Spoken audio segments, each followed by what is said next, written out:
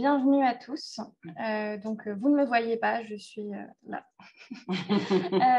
je suis Marie Ballarini, je suis responsable des événements scientifiques chez Métis et je suis absolument ravie d'introduire cette deuxième session euh, de ce cycle consacré aux expositions en ligne, euh, qui va s'intéresser ici plus particulièrement à la coopération entre les institutions culturelles et euh, les professionnels concepteurs de des expositions en ligne.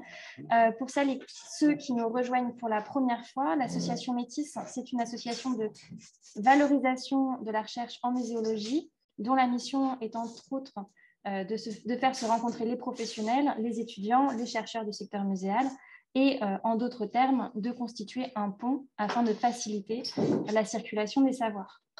Euh, au-delà de l'organisation d'événements, l'association publie régulièrement des ressources en lien avec les thématiques des rencontres, mais également en lien avec l'actualité du secteur.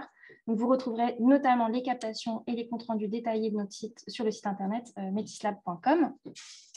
N'hésitez pas à nous suivre sur les réseaux sociaux, LinkedIn, Instagram, Facebook, ou à vous abonner à notre chaîne YouTube pour notamment recevoir toutes les captations. Euh, pour tous ceux qui souhaitent nous soutenir, vous pouvez vous adhérer à l'association euh, et via le petit lien qui est dans le chat. et avant de passer la parole à Marie-Laure Bernon, co-commissaire de ce cycle, je vous informe que donc, vous pourrez poser vos questions tout, le, tout le temps de la rencontre. Le temps d'échange sera situé à la fin. Euh, pour qu'on puisse discuter tous ensemble, euh, débattre de vos questions. Donc, vous pouvez poser vos questions au fur et à mesure grâce à l'onglet Discussion ou Converser. Euh, et si vous le souhaitez, vous pouvez aussi demander à prendre la parole euh, à la fin de la rencontre, euh, on pourra vous cliquer pour euh, vous autoriser à ouvrir vos micros. et je laisse donc la parole à Marie-Laure pour cette rencontre. Et je vous souhaite une très belle rencontre. Merci Marie.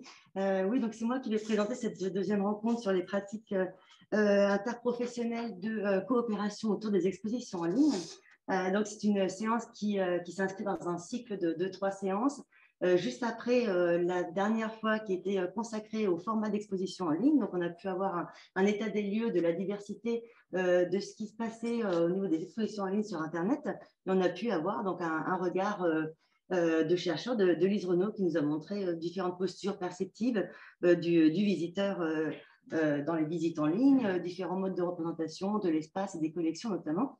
Et donc, après cet état des lieux, euh, nous allons donc aujourd'hui aborder la, production euh, d'expositions en ligne. Euh, et donc, entre, dans, le cadre de collaboration pardon, entre professionnels de la technique et professionnels de, la culture. Et donc, ce avant la troisième phase du cycle qui sera consacrée au public et donc à la réception de ces, expositions. Donc là, aujourd'hui, on va donc se, concentrer sur les modes de collaboration euh, entre professionnels et, euh, de la technique et de la culture dans la, production d'expositions en ligne. Euh, puisque nous l'avons vu, depuis, le, premier confinement notamment, beaucoup d'expositions en ligne se sont, développées. Il y a eu beaucoup de, d'aide finalement à la technique pour la production d'expositions en ligne destinées aux acteurs culturels. Il y a notamment des, formations qui sont destinées aux professionnels de la culture pour créer leurs expositions en ligne. On a des, on a des formations, on a des tutoriels également qui existent et qui finalement s'inscrivent dans une forme de reconfiguration des, euh, métiers de la culture, notamment avec les community, managers qui a été illustré notamment dans la, thèse de Noémie Couillard. On retrouve euh, également des, tutos, euh, des tutos en ligne pour faire des expositions virtuelles dans des espaces euh, collaboratifs entre commissaires.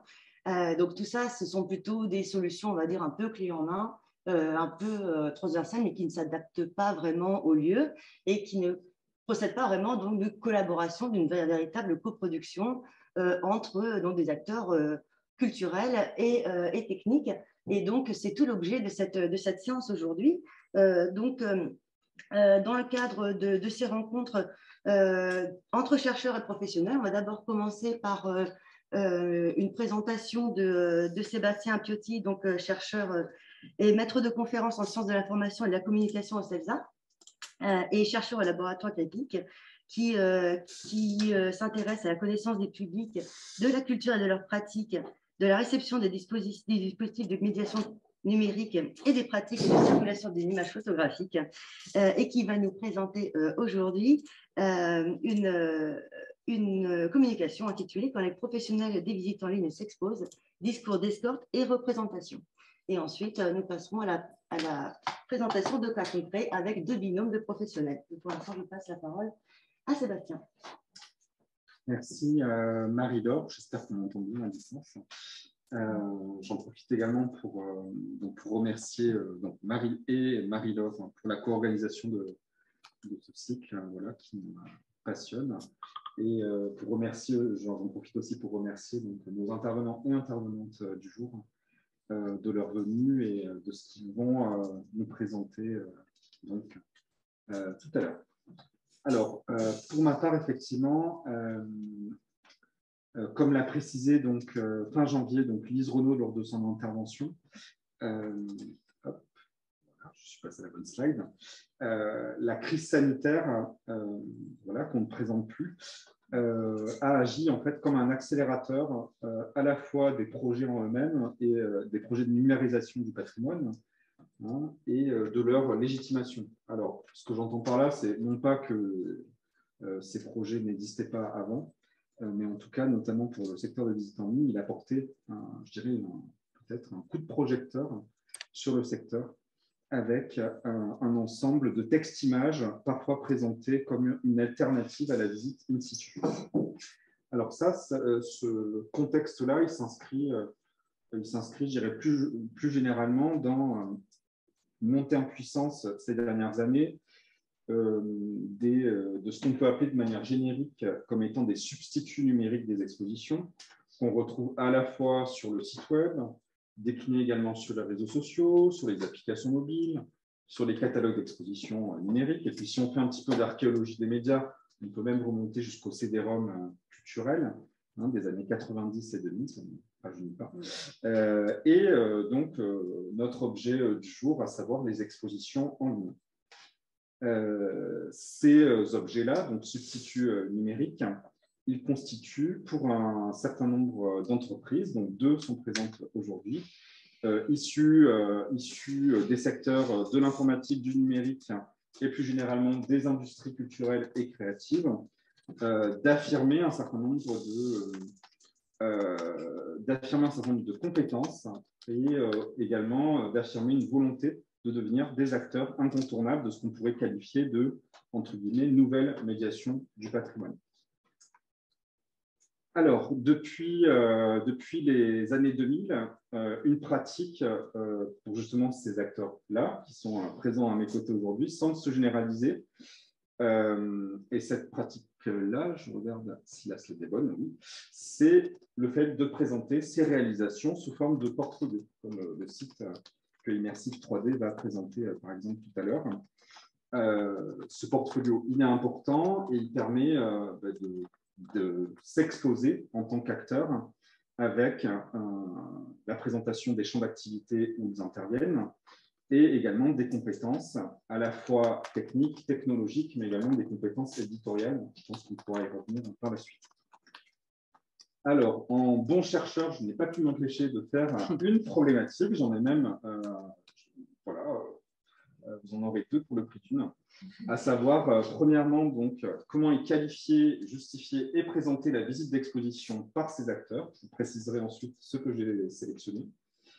Euh, et ensuite, je me suis également intéressé à, euh, à, savoir en fait quels éléments de, alors pour le dire de façon comme si j'étais un politicien, quels éléments de langage en fait, quels registres discursifs, si je prends la casquette du chercheur, sont convoqués par ces acteurs et qu'est-ce qu'ils peuvent aussi nous apprendre de la manière dont sont pensées ces expositions en, ligne par celles et ceux qui les conçoivent. Alors, je précise donc le corpus et la méthodologie avec euh, effectivement, premièrement, donc euh, l'importance de vous préciser qu'il s'agit d'une enquête exploratoire. Alors, euh, c'est le mot poli en général qu'utilisent les chercheurs pour dire qu'une recherche vient de débuter et, et que ce qu'on ce vous présente et ce que je vais vous présenter aujourd'hui est un working, working progress. Donc, j'ouvre, on va dire, le capot et je vous montre un petit peu ce qui se passe, euh, voilà, les réflexions qui sont les miennes, euh, qui sont les miennes et qui vont être, je pense, amenées à évoluer, euh, à évoluer et surtout à être enrichies par la suite, et je préciserai comment. Également, donc, vous précisez du point de vue institutionnel que je fais partie d'un projet collectif qui rassemble des chercheurs en sciences de l'information et de la communication de Montpellier, d'Avignon, de Lyon et donc de Paris. Euh, donc projet euh, au croisement des sciences, euh, des sciences politiques et des sciences de l'information et de la communication qui s'appelle Paul Expose pour politique des expositions numériques, forme, savoir, pouvoir. Et donc dans ce projet, on s'intéresse à la fois aux politiques publiques, politiques publiques culturelles numériques, avec un objet concret qui est celui des visites numériques, et on s'intéresse également aux, aux, stratégies, aux pratiques professionnelles de conception. Donc là, on est effectivement au cœur du sujet aujourd'hui. Alors, dans ce cadre-là, moi, j'ai fait le choix, euh, choix aujourd'hui d'analyser en fait euh, de manière très concrète hein, les sites web de huit entreprises qui basent tout ou partie de leur activité autour des visites d'exposition en ligne. Euh, il est important pour moi de préciser que je, n'ai pas retenu certains types de prestataires que je qualifierais vraiment de manière grossière, n'hésitez pas à me corriger tout à l'heure, de ce que j'ai qualifié de prestataires de solutions technologiques, c'est-à-dire ce que j'entends par là, c'est les entreprises euh, ou les, fournisseurs que vous utilisez euh, et qui proposent des solutions pour créer techniquement la visite. Donc, je pense par exemple à des outils comme Matterport, panneau de VR, il me semble que vous utilisez, ou 3D Vista. Je n'ai pas retenu euh, ces acteurs-là pour ce corpus, même si à titre scientifique, ils m'intéressent. Donc, le parti pris, par contre, que j'ai euh, choisi, c'est, étant donné qu'il s'agit d'une enquête exploratoire, c'est d'interpréter dans un premier temps ces discours d'escorte, et je vais tout de suite préciser ce dont il s'agit. Euh, donc, discours d'escorte des visites d'exposition en ligne, c'est-à-dire en lien euh, avec, sur des sites web, des choix d'interface et de mise en scène graphique sur, des sites, sur donc, les, sites web, les sites web en question. alors, pourquoi pourquoi choisir des sites web et pas autre chose? Alors, premièrement, c'est que c'est, je trouve, un bon observatoire pour observer des stratégies de mise en exposition, vraiment au sens, littéral, d'acteurs auprès de publics spécifiques. Alors, il y a certes le, cœur de ce qui nous intéresse aujourd'hui, c'est-à-dire les professionnels du patrimoine, mais plus largement, euh, pour certains des acteurs, il n'y a pas que les professionnels du patrimoine et de l'art, mais il y a aussi le secteur touristique, le secteur de l'immobilier, le secteur du luxe et de la mode, notamment, qui sont, euh, qui sont des, voilà, une, clientèle, une clientèle importante. Euh, également, les sites web, je trouve que c'est un bon observatoire pour analyser la circulation des imaginaires et des images liées au numérique. Et euh, de manière générale, et en particulier aujourd'hui à la visite, donc ces imaginaires et images de la visite d'exposition en ligne. Alors, sans plus tarder, le corpus. Donc, Immersive 3D que j'ai à côté de moi, bonjour. Euh, avec donc, euh, je vous ai mis des petits sites web à chaque fois si vous voulez euh, aller voir. Je crois que j'avais indiqué qu'on mette les sites web des entreprises dans le chat. j'ai également donc analysé le site web d'Inkawoods au hasard. le site web également d'Explore Visite le site web donc, de Mike Tourlight, qui est situé à Marseille, euh, le site web euh, donc, de Notori, le site web d'art graphique et patrimoine qui était présent lors de notre première euh, conférence donc, sur les visites d'exposition en ligne, le site web, alors un des sites web de Mazedia, qui est une grosse agence, mais là j'ai plutôt sélectionné une de ses filiales qui s'appelle Visit avec une solution qui s'appelle Visit Live Visit. Vous pouvez le retrouver sur le site donc, de Visit. Je me suis également intéressé à Socle, je préciserai. Euh, donc, Socle, vous avez le site web, soclecollection.com. Et voilà, ça fait déjà pas mal. Alors, un petit point euh, rapide sur ce qu'est un discours d'escorte. Ça sera euh, promis le seul point théorique de la soirée. Alors, le discours d'escorte, c'est un concept qui a été théorisé par deux chercheurs français qui sont spécialistes en sémiotique, c'est-à-dire en analyse des signes, et notamment on analyse des signes au sein de ce qu'ils appellent des médias informatisés. Donc, c'est notamment tout ce qui va être des, euh, interfaces du type euh, la tablette, l'ordinateur, ou alors des logiciels. PowerPoint ou Ces deux chercheurs s'appellent Yves Jeanneret et Emmanuel Souchier. Et donc, ce qu'ils entendent par discours d'escorte, c'est assez, assez, maintenant, ça date, 2001, hein, je les cite, Ainsi en est-il, selon l'expression consacrée, des nouvelles technologies de tous les objets plus ou moins distincts qui accompagnent leur arrivée. L'Internet, le multimédia, les réseaux, la nouvelle économie, la société de l'information. Ces objets, réels ou fantomatiques, sont escortés par tout un discours valorisant qui annonce une nouvelle ère médiatique. Discours et objets sont ainsi relayés par les circuits les plus classiques de la communication. Euh, je mets une autre citation que je n'ai pas mise ici mais qui résume un petit peu vraiment ce à quoi je me suis intéressé. Les objets, donc notamment les objets technologiques, ne valent pas en soi et pour soi, ils ont besoin d'être chargés de valeur. Donc je me suis intéressé, moi, à ces, à ces discours-là et à ces valeurs en fait, qui accompagnent, euh, donc là en l'occurrence, l'objet technologique, visite d'exposition en ligne. Alors, si je reformule en, je dirais en français très compréhensible ce que je vais chercher, c'est quelles valeurs et quels récits sont racontés à propos de la visite d'exposition en ligne.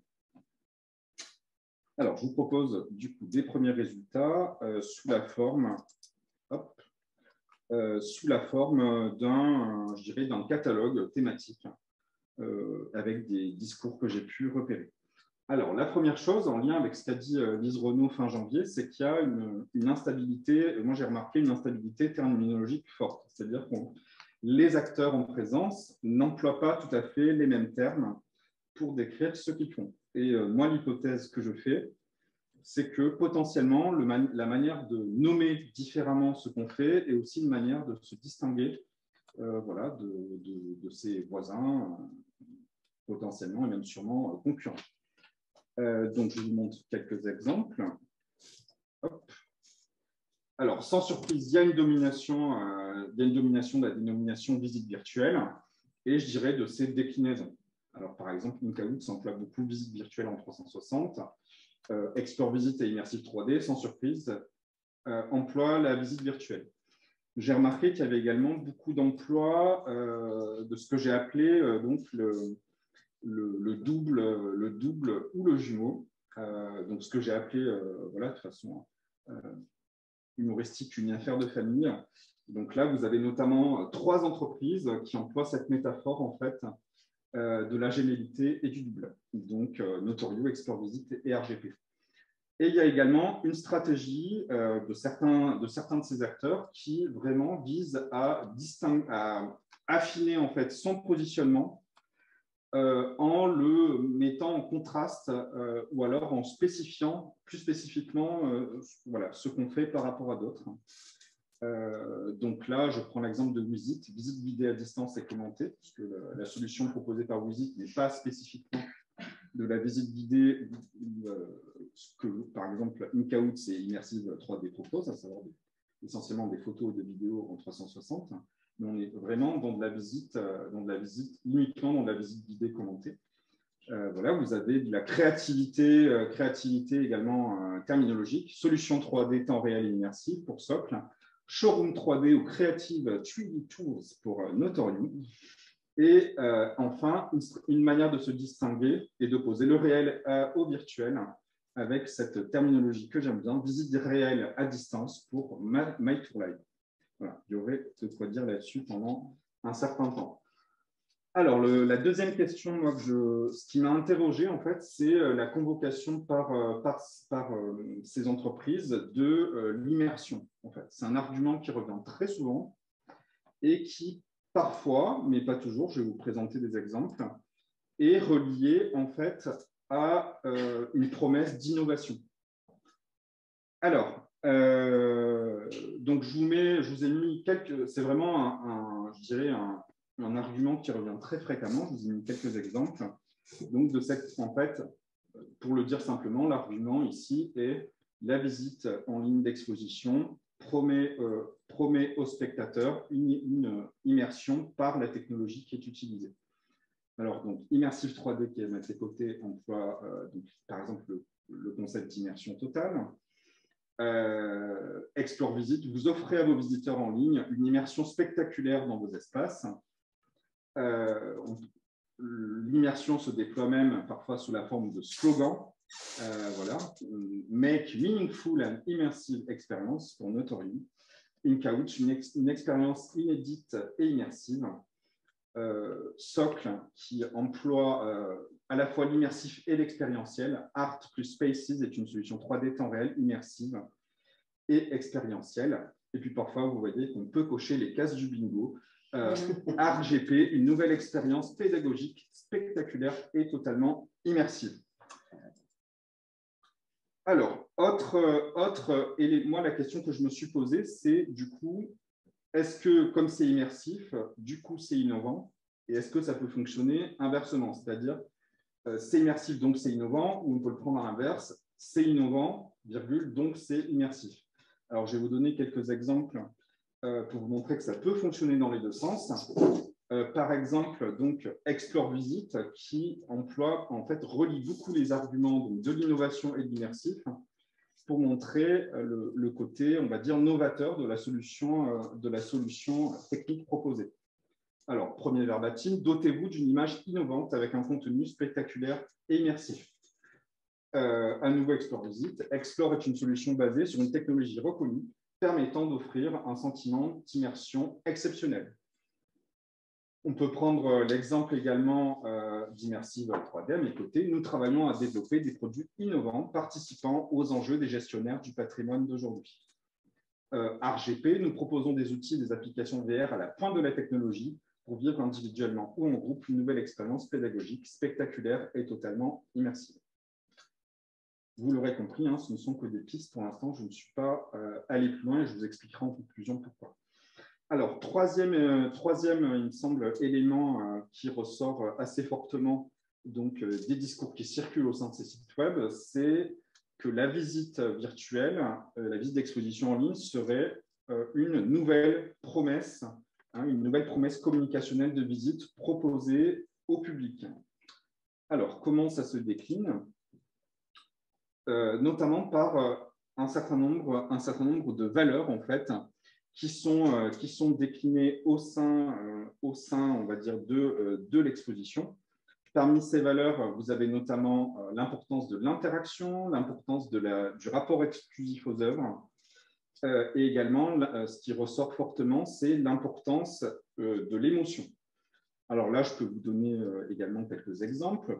L'exemple numéro 2, par exemple, donc l'entreprise Socle, Art plus Spaces crée l'événement pour générer des émotions et engager une audience. Si on se concentre cette fois-ci sur l'interactivité, toujours Socle, l'interactivité rend l'utilisateur acteur de sa propre expérience. Des stimuli accompagnent ses gestes et déplacements pour le guider. Euh, donc voilà pour euh, tout ce qui va concerner émotion, interaction et rapport exclusif aux œuvres. Alors, un autre euh, élément, et je pense qu'il en sera également question tout à l'heure, c'est la thématique de l'accessibilité, mais vous verrez qu'elle est employée au sens restreint ou large, et de la visite virtuelle comme étant un outil qui permet de, de capter en fait un certain nombre de publics et il y a notamment toute la thématique des publics éloignés et ou euh, empêchés. Alors, euh, ce que j'entends par là, c'est à la manière d'une fusée. En fait, vous avez ici un, système argumentatif qui vient fonctionner à plusieurs étages. À plusieurs étages. C'est-à-dire, la visite virtuelle, elle est promue comme, étant, comme permettant de rendre accessible le musée et ses collections, premier étage. Deuxième étage, donc, elle permet de cibler les publics éloignés. Troisième étage, qui est employé par certains acteurs, mais pas tous, euh, la visite virtuelle permet d'archiver et de prolonger la durée de vie des expositions. Alors, je vous montre, euh, des exemples, euh, notamment Inkouts, qui met très fortement en, exergue en fait, cet argument avec une spécificité qu'elles pourront présenter autour, autour des personnes à mobilité réduite. Euh, donc verbatim, notre studio de production propose des visites virtuelles 360 pour permettre aux personnes à mobilité réduite, PMR, d'effectuer sereinement une visite complète. Euh, mais vous avez également Explore Visite qui dit rendez accessible en ligne vos espaces fermés et l'ensemble de vos collections. Euh, argument repris par Mazedia, vous voyez, c'est la, dernière citation, Mazedia Visite, un service qui permettra d'ouvrir tous les musées au monde entier. Rien que ça. Alors,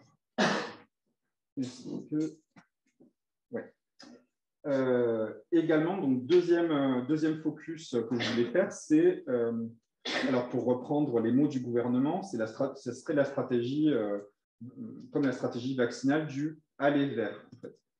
Euh, ce qui est également la stratégie de toutes les initiatives hors les murs des musées, donc aller vers les publics empêchés et éloignés, et donc ici, la visite virtuelle comme étant un outil supplémentaire au service, euh, au service de la conquête de ces publics. Alors, je vous donne quelques exemples. À nouveau, euh, à nouveau donc, euh, nous sommes ravis de pouvoir offrir aux personnes à mobilité réduite l'opportunité de faire une visite sans aucune limite. My Tour Live, verbatim 2, toucher un public large, plus large, pardon, éloigné ou empêché, ou proposer une alternative en cas d'inaccessibilité temporaire du lieu. Euh, on voit ici, je pense, les traces des fermetures euh, des lieux de patrimoine et de culture pendant les confinements successifs. Euh, Explore Visite, nous concevons des expériences de visite enrichies en 3D permettant d'engager les publics distants ou empêchés. Alors, euh, dernier élément qui m'a intéressé, c'est, euh, puisqu'il a été, euh, je n'ai pas encore abordé cette question, c'est le fait de, concevoir en fait la visite virtuelle comme étant un outil promotionnel qui permet potentiellement d'attirer des visiteurs in situ. Alors là aussi, hein, je, vous, aurez, compris ma stratégie, je schématise à grands traits. ce ne sont pas toutes les entreprises qui font appel à ce à cet argument, mais certaines d'entre elles. Alors, je vous donne un exemple. Immersive 3D, susciter l'envie pour faire venir les visiteurs. Explore Visite, transformer vos publics en ligne en véritables visiteurs. Offrez une première expérience en ligne pour déclencher la visite in situ. Euh, je vous ai mis ici le verbatim, alors qui n'était pas sur le site web, mais qui a été employé par, euh, euh, par donc RGP fin janvier le fait de considérer la visite virtuelle comme étant un produit d'appel, je cite, étant au service de la communication et de la promotion de l'institution. Argument également repris par Incaus, vous dites, nos visites virtuelles permettent également d'optimiser la communication et la publicité du monument. Alors, perspective. Voilà, j'ai préféré ce titre euh, à celui de conclusion, puisque euh, c'est encore une enquête en cours de ce que j'ai présenté aujourd'hui. Je me suis donc interrogé sur la mise en exposition des imaginaires des acteurs de la visite d'exposition en ligne à travers plusieurs focus que j'ai présentés, que j'aimerais retravailler, approfondir à l'avenir, sur notamment l'instabilité terminologique et le jeu de positionnement euh, des acteurs entre eux, la mise en avant également par ces entreprises de l'immersion et de l'innovation, également mise en avant de nouvelles promesses de visite, euh, également la euh, visite virtuelle comme étant un dispositif au service de l'accessibilité et des publics éloignés et ou empêchés. Et enfin, un outil qui oscille, je dirais, entre médiation et promotion et qui permet également d'attirer des visiteurs in situ. Alors, l'enquête, elle en est qu'à ses débuts et je vais vous expliquer maintenant, euh, en dernier point, comment je souhaiterais l'approfondir. Alors déjà, en analysant d'autres corpus, notamment euh, tout ce qui est vidéo promotionnelle, euh, stratégie de communication sur les réseaux sociaux, et puis également plus largement analyser la circulation de ces discours dans les médias. Il y a eu pas mal de couverture presse hein, sur euh, les, visites, les visites virtuelles, et puis parfois certains discours politiques également à ce sujet.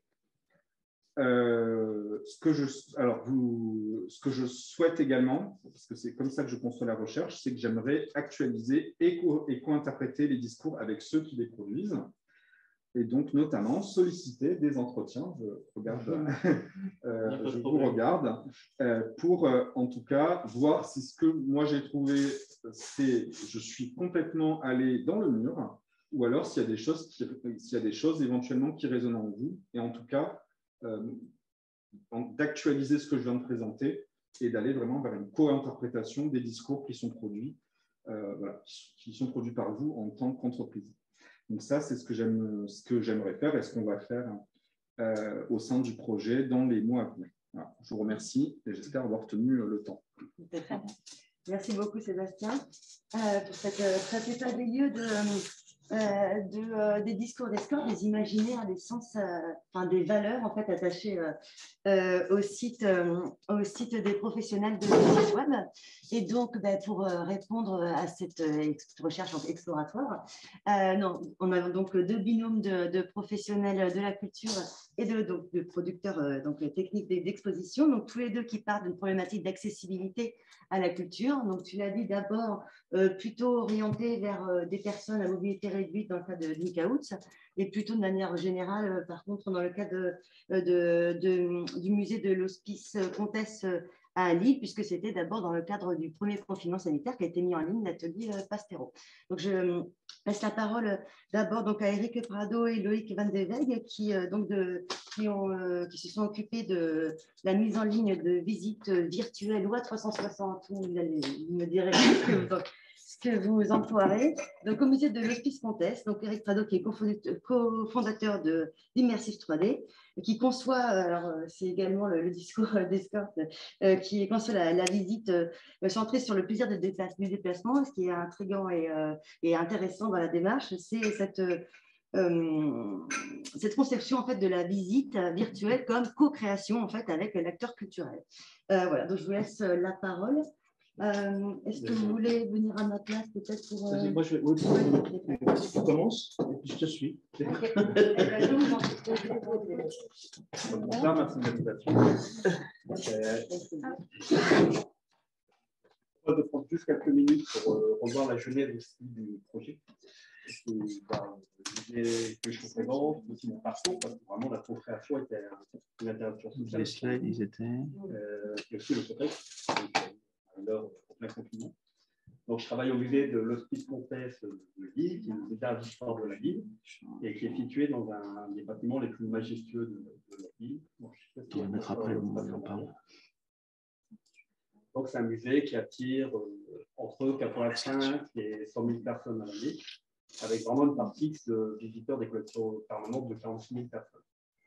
Donc, on a surtout des visiteurs, euh, visiteurs d'IFMR, hein, ce sont des, des, touristes qui sont des passages à Lille, on, a beaucoup de, on capte beaucoup de, public étranger, puisque face à la, situation géographique de Lille, vraiment tout ce qui est Benelux et la population du Benelux et des Anglais.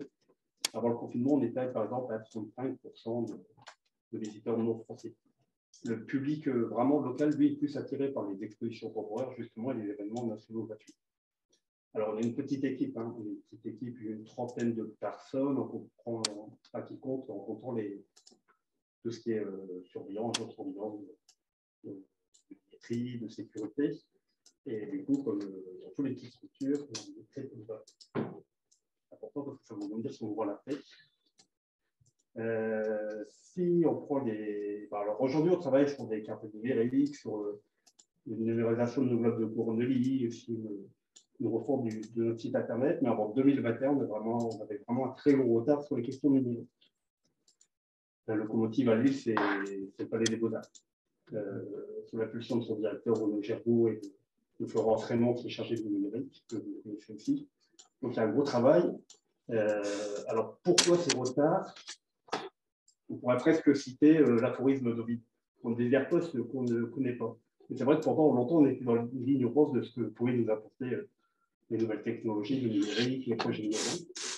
Et aussi de la méfiance, je pense, de certains de mes collègues, de ne pas tomber dans le gadget. Et aussi militaire, photo Excusez-moi. Donc, euh, et aussi euh, de s'éloigner de la noblesse des supports de médiation euh, euh traditionnels, hein, le papier et l'humain, et aussi les, les, problématiques de financement de RH. Et malgré cela, c'est nous qui avons été choisis pour proposer la première visite virtuelle à l'initiative de, la ville de Lille. Vous pouvez parler un tout petit peu Oui, pardon. Et donc, même les deux premières visites virtuelles, parce qu'on a enchaîné très vite pour six mois pour deux visites virtuelles, Pasquero d'abord et Caillou après. du coup, on verra, c'est une logique différente. Autant Pasquero euh, n'a pas été montré au public, autant que Caillou, les deux visites, bah, la visite virtuelle et la visite ah ouais. ont coexisté. Donc là, du coup, Eric qui présente euh, la cour intérieure du musée de l'Hospice Et donc, en fait, cette vue-là est servie pour les, pour les deux visites. C'est-à-dire que comme on, avait, comme on avait déjà fait une visite la deuxième fois, on a juste changé l'affiche. Et voilà, on n'a pas eu, surtout que quand on était retourné la deuxième fois, il faisait moche, donc donc c'était pratique d'avoir une vue où il faisait beau. Et c'est comme l'appareil, c'est vraiment, vous voulez garder une ligne graphique. Et comme ça, la ligne graphique, comme tu dis, est, exactement la même. Donc, sur les visites, sur le bordeaux, sur les icônes, vraiment, même s'il y a un gap entre les deux visites, on voulait vraiment garder des choses assez semblables. Euh, donc voilà, je vous ai présenté un peu le musée. Donc, petite équipe, pas d'expérience dans le numérique. Alors, moi, je me suis retrouvé euh, propulsé, chargé de projet des visites virtuelles. Euh, mon parcours en vraiment 30 secondes, j'ai étudié à la fac de droit de, de Lille. Je suis titulaire d'une maîtrise d'administration économique et sociale et d'un master sciences politiques. Alors, moi, je me suis beaucoup intéressé pendant mes études aux questions culturelles sur le prisme des publics, de la légitimité culturelle, de la codification, aussi de la méthodologie des sciences sociales. Et un de mes cas d'études était par exemple la, bah, la réception de la plantation de nouveaux les changements de référentiel des publics. Euh, après avoir été médiateur, j'ai été embauché au de Fontes, euh, d'abord pour relancer une billetterie euh, au niveau réglementaire fonctionnel, créer les compagnies. Et après aussi, mes fonctions vont s'élargir avec l'évolution dans les musées. On sait que la place des publics va prendre une place prépondérante, donc je me suis retrouvé à, à m'occuper des études publiques, euh, on cherchait des financements qui s'occupaient des privatisations d'espace. Et après, depuis 2019, je m'occupe des questions numériques et du rayon. Donc, peu d'expérience aussi quand de, de la proposition de la visite. Donc, le contexte, c'est le confinement, en 2020. Euh, donc, le musée est fermé depuis un certain temps. Euh, on reste quand même optimiste parce qu'on va monter l'exposition Pasquero euh, deux mots, c'est pour présenter le travail de deux photographes lillois ayant exercé dans la première moitié du XXe siècle, sur René Pasquero. Et voilà, on se rend compte très vite qu'on ne pourra pas la présenter au public. Donc là, la direction de la culture nous propose de financer, euh, de financer une visite virtuelle avec euh, deux contraintes, c'est d'aller très vite et aussi de travailler avec un, prestataire qui est déjà en marché avec de la ville donc là, ce n'est pas Immersive 3D, c'est Blue Capi. Donc Blue Capi, c'est des professionnels de la production audiovisuelle. Donc eux, ils proposent directement de faire une, vidéo. Alors que moi, même si j'ai pas, euh, ben, je ne sais pas nommer mes envies, qu'il y a des problèmes de terminologie, euh, entre virtuelles, 360, j'ai tous en tête, sans pouvoir le nommer. Mais j'ai des, exemples comme l'exposition Win de la BNS, l'exposition de Turner de l'échappement Marandré, euh, du coup, je leur fais part de mes propos et du coup, la visite est externalisée à Immersive 3D. C'est là que je rencontre Eric et Eric qui est dans l'assistance. Et ben voilà, et je ne sais plus comment ça s'est passé. Ça, fait combien? Ça fait deux ans? Euh, et nous, on faisait la on a commencé par faire du, du Matterport en fait de la, de la, de la visite euh, au début immobilière.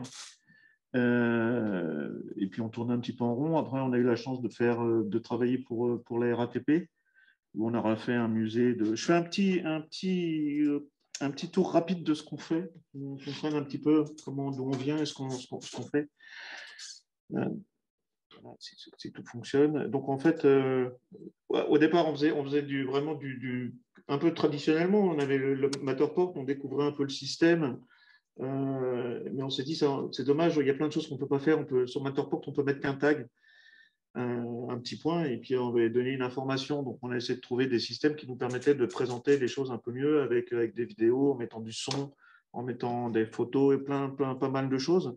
Et on a trouvé effectivement des logiciels, on a étudié les différents logiciels qui existaient et on a choisi Panneau de verre pour, euh, faire nos visites. Euh, et notre, un de nos premiers, nos premiers vraiment visites euh, type musée, c'était les métros de le musée des métros où on a fait euh, les différentes euh, wagons euh, matériels de la, de la RATP. En fait, quand je les ai rencontrés, ils n'avaient pas d'expérience, ils n'avaient jamais réalisé de d'appel. Non, on avait, on avait, voilà, on commençait, on commençait à le faire. Donc, pour nous, c'était une opportunité. La spécificité qui sera peut-être différente. Alors, on est dans une situation où on avait la ville de Lille qui avait, qui avait pas écrit de cahier des charges précis et détaillé un prestataire qui n'avait pas de, proposition sur main, et moi, à qui on confiait le premier gros projet. Voilà, on nous a, c'est un peu important de, de, savoir tout ça pour savoir comment on a fait aussi. Le premier arbitrage, parce que je pense qu'on va pas parler ce soir, c'était vraiment de faire une proposition qui, soit assez euh, identique à ce qui nous situe. Mais c'est assez bizarre parce qu'on ne peut pas montrer, on, peut pas montrer ce qui n'existe pas tant qu'on ne l'a pas fait. Donc, ça marche que sur la confiance ou, sur les références. Mais au tout début, comme on était un des premiers acteurs, c'est un peu compliqué de montrer ce qui n'existe pas. D'autant plus qu'à chaque fois qu'on fait une nouvelle visite, on invente de nouvelles choses. Donc, à chaque, chaque visite, on a des updates de, et de programmation, parce que je suis rentré à fond dans le, dans le programme panneau de VR, qui nous permet vraiment d'en sortir, euh, j'espère, 80% euh, de ces possibilités, voire plus. Euh, donc on, a, donc on invente au fur et à mesure. Donc on est vraiment dans un. C'est pas quelque chose de, de fixe et de figé en disant on peut faire ça ou on peut pas faire ça. Et justement, au début, toi, tu nous disais. Au, début, on devait, on devait faire, mettre les cartels. C'est la première fois qu'on mettait des gros cartels avec des, avec des informations. Je me suis dit. Et au début, on lui a dit non, c'est pas possible on peut mettre qu'une image, qu'une photo, ce que nous proposait le premier. Et, donc, il a beaucoup insisté, et moi, j'ai beaucoup mal dormi. Et, là, j'ai fini par trouver une solution, et on a trouvé une solution pour le faire, qu'on a utilisée pour, pour, voilà, pour, pour cette visite-là. Et cette solution n'était pas la solution idéale, mais elle fonctionnait. Donc, le temps de faire cette visite-là, on l'a fait. Et parallèlement à ça, j'ai essayé de trouver une autre solution plus intelligente qui pour nous plus rapide au niveau de la production, parce qu'il y a aussi le temps de production qui compte. On ne peut pas se permettre de faire quelque chose pendant 10 ans, et surtout là, il fallait aller vite. Donc, il fallait trouver des, trouver des outils nouveaux euh, qui fonctionnent euh, voilà, et, qui soient utiles. Et donc, on, à Panneau de Verre, nous, on ajoute des programmes, des façons de faire qui font qu'on arrive à avoir quelque chose, quelque chose qui tient la route. Un, autre problème par rapport, par rapport aux visites aussi, et, et on ne se rend pas compte au début parce que quand on a connu les CD-ROM, bah, c'était facile, on mettait le CD-ROM dedans et ça marchait, quel que soit l'ordinateur. Là, on a un autre souci, c'est le temps de chargement. Euh, quand on met une grosse image et qu'il faut la charger et que des images, euh, notre dernière visite, je ne sais plus Thierry, on a combien d'images? 510. 510 images, on a 510 vues. Eh ben, il, faut les, charger, il faut avoir un ordinateur assez puissant pour le faire. Donc on a trouvé des algorithmes qui nous permettent aussi de diminuer l'image. Les images, nous, on les fournit par rapport à un panneau de verre, on est 80% moins lourd que parce que parce qu'on magouille. Et je pense que c'est un métier de magouille, il faut magouiller, et on a magouillé. Et, voilà, on ne dort pas et on magouille. Et avec ça, on arrive à faire des choses qui sont plutôt intéressantes. Il y a une autre chose, je me souviens, je, me souviens que tu nous as dit oui, ça serait bien qu'on mette de la voix, parce qu'au départ, il n'y avait pas la voix qui était prévue. justement, alors je qu'on a, on a voulu faire quelque chose de très semblable à ce qui était. Euh, justement parce qu'on n'était pas dans une offre complémentaire, on était vraiment dans une offre de remplacement. Hein. L'exposition n'avait pas été. C'était aussi un moyen peut-être de rendre hommage au travail de scénographe, au travail des commissaires. Euh, mais ce n'est pas pour cela qu'on s'est arrêté. Et on a profité de la technique pour, euh, pour améliorer aussi l'esthétique de la visite et proposer un meilleur confort de visite et faire des contenus additionnels. Donc ça a été, on verra, c'était l'effacement de cartels, des carousels d'images, on a rajouté de l'audio aussi. On a rajouté de l'audio, oui, c'est ça, avec, euh, avec l'audio. Et, c'est le, programme n'est pas spécialement prévu pour ça. Comment on fait pour mettre de l'audio? Et après, quand on quitte l'audio, si on met un deuxième audio, il y a le premier audio qui marche encore, donc il faut qu'il s'arrête. Enfin, il y a plein de problèmes techniques qu'on a découverts au fur et à mesure. Euh, et, maintenant, qui nous servent. Maintenant, on a, on a l'expérience qui nous permet de, de, faire pas mal de choses. Et on continue encore à apprendre à faire des choses comme ça. Là, par exemple, sur l'audio, on avait fait le. On avait, je crois que je sais, je crois qu'il y a le son. Le musée de l'Hospice Comtesse conserve une collection de plus de 35 000 photographies documentaires, parmi lesquelles le fond de l'atelier Lillois. Et après, c'est pareil, là, il faut gérer comment on arrête l'audio, comment on le met, comment on le mélange. Si on se mélange pour, pour justement pour donner l'émotion dont, je parlais, euh, que je parlais sur ma, sur ma bio. Mm. Euh, quand on se retourne sur l'audio, ben, j'ai un autre son qui est avec plus de réverb. Et donc, du coup, on a l'impression d'être dans une salle. Et, et, donc, en fonction de là où on regarde, et ben, le son, est, voilà, on a la position du son. Et quand on se déplace et qu'on tourne, et ben, le son, on l'a quand même un petit peu plus dans l'église. Ce qui donnait l'ambiance de la pièce, parce que la pièce est très réverbérante. Et donc, le flair, hein, le flair Voilà, donc ça nous permet de le faire. Là, le flair, c'est pareil. Ça donne, euh, parce que là, on, on, dirait de la 3D, mais alors que c'est de la, de de la photo 360. Il y a deux, trois éléments qui sont en 3D, et cet élément-là suffit à faire croire que c'est de la 3D. Et là, tout le monde est persuadé que c'est de la 3D, mais pas du tout. Voilà, il n'y a que le flair qui est en 3D. Ce genre de petits, trucs font qu'on arrive à avoir, un, sentiment de, la personne qui regarde. De la même façon, ici, on a, fait un espèce de ruban, là, pareil, qu'on a inventé, qui nous permet de se déplacer rapidement dans la visite. Et en, respectant les couleurs, parce que dans, les musées, souvent, la, scénographie fait qu'on a un chemin. Donc, on a respecté ce chemin en inventant, c'est la première fois qu'on le faisait, c'était pour, toi. Et c'est pareil, quand on survole le ruban, ben, le, ruban, il change un, voilà, le, carré, il change un tout petit peu de couleur. Mais le fait de changer un tout petit peu de couleur, ça donne, ça donne un sentiment qu'on agit sur quelque chose. Et ce sentiment d'agir fait qu'on reste plus longtemps et que ça rend la chose beaucoup plus intéressante. Euh, qu'est-ce que je Il est très court, on a, sorti cette visite euh, pendant trois mois. Euh, et en travaillant sur d'autres projets par ailleurs. Oui, nous aussi, oui. ça a été très passionnant, ça a été très prenant. Je pense que notre inexpérience a été une chance aussi. Ouais, puis parce qu'on a vraiment pu. Il y avait beaucoup de photos dont on ne s'était pas rendu compte du travail que c'était, de faire un cartel pour chaque photo, etc. Donc, il y avait beaucoup, beaucoup de travail. Les images, par exemple, il y a quelque chose qu'il qui, faut savoir. Par exemple, quand on fait les 360, c'était le problème des textes. Parce qu'on a les textes sur les murs, mais la qualité de la, captation 360, c'est pas si bien que ça.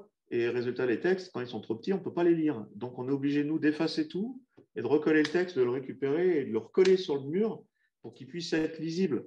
Donc, on améliore la qualité d'image des 360 pour que ça soit euh, raisonnablement lisible. Et tout ça, on ne le savait pas, parce qu'au moment où on a fait la captation, on, voilà, on ne savait pas où on allait en fait. Donc, euh, donc c'était une découverte qu'on a faite ensemble, en fait. Et là, c'est bien où j'avais un interlocuteur qui n'était pas en train de nous dire Oui, tu ne peux pas faire ça, c'est pas bien, c'est pas ce que tu nous as vendu, etc. Pas du tout.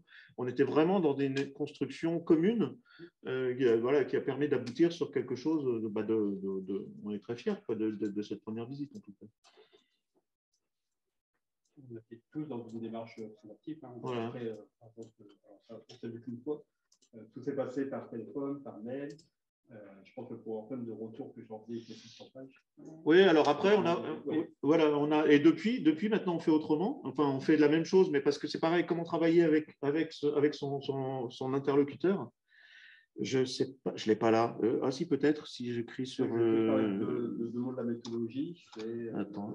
Où est-ce que j'ai une visite? Une seconde, je cherche une visite avec. À un moment, on a eu l'alerte de pour qui on fait cette visite. Peut-être celle-là. C'était un des problèmes, c'est qu'il n'y avait pas beaucoup de littérature comme je disais sur la réception des publics. Il n'y avait pas d'ouvrage sur référence comme on voilà, à l'époque. Et du coup, on devait toujours avoir cette petite alerte, c'est il faut pas faire une visite qui va euh, concentrer vraiment le petit cercle des amoureux de la culture du milieu. Euh, du coup, on avait toujours ça en tête, on a essayé de faire au, plus grand nombre. Et moi, dans ma méthodologie, à un moment, j'ai remis aussi le, public euh, comme acteur et je faisais tester la visite vraiment à, alors, c'était dur avec les conditions sanitaires, hein, c'était tout le monde des gens quand même assez proches, et je faisais vraiment tester euh, la visite à tous les gens. Alors, à côté, par contre, je peux rester, euh, je redemandais l'avis de mes collègues, euh, je faisais valider par ma direction, j'étais en chef Florence Raymond aussi, mais vraiment, c'était ça, et beaucoup la, conservatrice aussi, bah, la, commissaire d'expo. Et je pense que la ligne éditoriale de l'exposition a prévalu sur la ligne éditoriale aussi de la production. Ça qui est important. Alors, il y a plein de choses dont on va laisser passer, on s'est rendu compte qu'on verra. Hein, c'est très bien pour euh, de l'archivage. On le premier mot de notre directeur, c'est très bien pour l'archivage. Euh, moi, je pensais tout de suite à des, actions hors les murs, du coup, compagnie comme support hors les murs avec ville. Ça, on y a pensé, on y a pensé aussi tout de suite. Et l'accessibilité aussi, là, c'est plus Caillou qui a existé en même temps que l'expo. On a vraiment pensé au public empêché, et aussi au public euh, hors de nos frontières, parce qu'on a traduit du coup en anglais la, deuxième visite. Oui, là c'est pareil. Comment on, fait, comment on fait pour que ça soit en même temps euh, français et anglais sans avoir à refaire la visite? Deux choix. Soit on fait deux visites, une en anglais, une en français. Soit on fait en sorte que ça fonctionne pour les deux cas de figure. Euh, donc là, c'est plus compliqué. Ça demande des lignes de programme qui fait qu'il va reconnaître au début si c'est anglais et français. Et que par exemple, on va mettre une image qui va être française. Et lui, au moment, moment d'afficher l'image, il va, il va aller regarder si c'est une, une image française ou anglais et que ce n'est pas le même texte, et pareil pour les textes. Donc on a, on a les, voilà, on met, on met les cartels, et la cartelle, quand c'est anglais, bah, il rajoute le, EN, hop, et on passe en anglais. Donc tout ça, c'est des choses qu'on a, qu'on a dû inventer. Euh, on invente en fonction de la demande, en fait. Je, revenais juste sur le, sur le, sur le, voilà, c'est pour ça que j'ai mis le, ce qu'on a fait sur la RATP. Euh, comment, comment, euh, quand nous on envoie la visite, comment, comment l'interlocuteur nous fait les corrections? C'est super compliqué. Il nous envoie une image et il dit comment c'est quelle image, c'est quel numéro, c'est l'enfer. Et nous on, nous, on galère à retrouver. Donc en fait, on a inventé ça, hop, on a un espace debug qu'on voit un peu, et là, ça va nous donner exactement la vue, le nom, le nom que nous on utilise, le nom du, de la photo 360, le nom du hotspot des nodes, etc. Donc, en fait, du coup, ils arrivent à faire ça, ils nous donnent les informations et ça nous, ça nous fait gagner un temps de fou. Et c'est pareil pour eux, c'est plus simple. Donc, on essaye aussi de, trouver, de, faire, de trouver des façons d'interagir entre nous au moment de la fabrication. Moi, je faisais des captures d'écran de mon téléphone. Et toi, tu faisais des captures d'écran. Donc, ça, on ne le fait plus parce que du coup, il n'y a plus besoin de ça. mon ordinateur, j'ai 300 photos. Et ça, ça marche. Voilà, là, c'est la, là, la visite qui est en ligne. Hein. Personne n'est au courant, mais si on, appuie, si on clique sur D, hop, on est en mode debug. Et voilà, on a des touches secrètes qui nous permettent de continuer à avancer et d'avoir des informations que les gens n'ont pas, en fait. Ça, ça c'était pour. Euh, ça, en passant, c'est d'un espèce de publier reportage 360 sur les, la réflexion du RER. E euh, et là, c'est carrément, on, avait, on a fait des, des, des, des, vues 360 au même endroit. Et voilà. Et puis, comment on a des, informations. la visite virtuelle, en tout cas chez nous, ça nous a aussi permis de voir qu'il y avait des lacunes sur l'exposition de situ. Là, je prends le cas de Pasquero qui sera finalement représenté, donc on aura une problématique. Euh, l'exposition virtuelle a existé bien avant l'exposition de situ qui sort en 2023 et on s'est rendu compte vraiment en créant cette visite virtuelle qu'il y avait une inégalité dans les textes. Enfin, on a rajouté des textes de l'audio. Euh, en plus de voir qu'il y avait une petite coquille dans cartel, mais ça, ça va faire tout. Mais vraiment, le traitement de la visite nous a permis de corriger, va nous permettre aussi de corriger le En plus d'être, de permettre l'accessibilité, d'être euh, un super moyen d'archivage, de, on l'espère être vu par le plus grand nombre. Les plus grosses déceptions, par contre, qu'on a vu pour la sortie, on était très fiers. Les premiers commentaires sur les réseaux sociaux étaient, alarmants.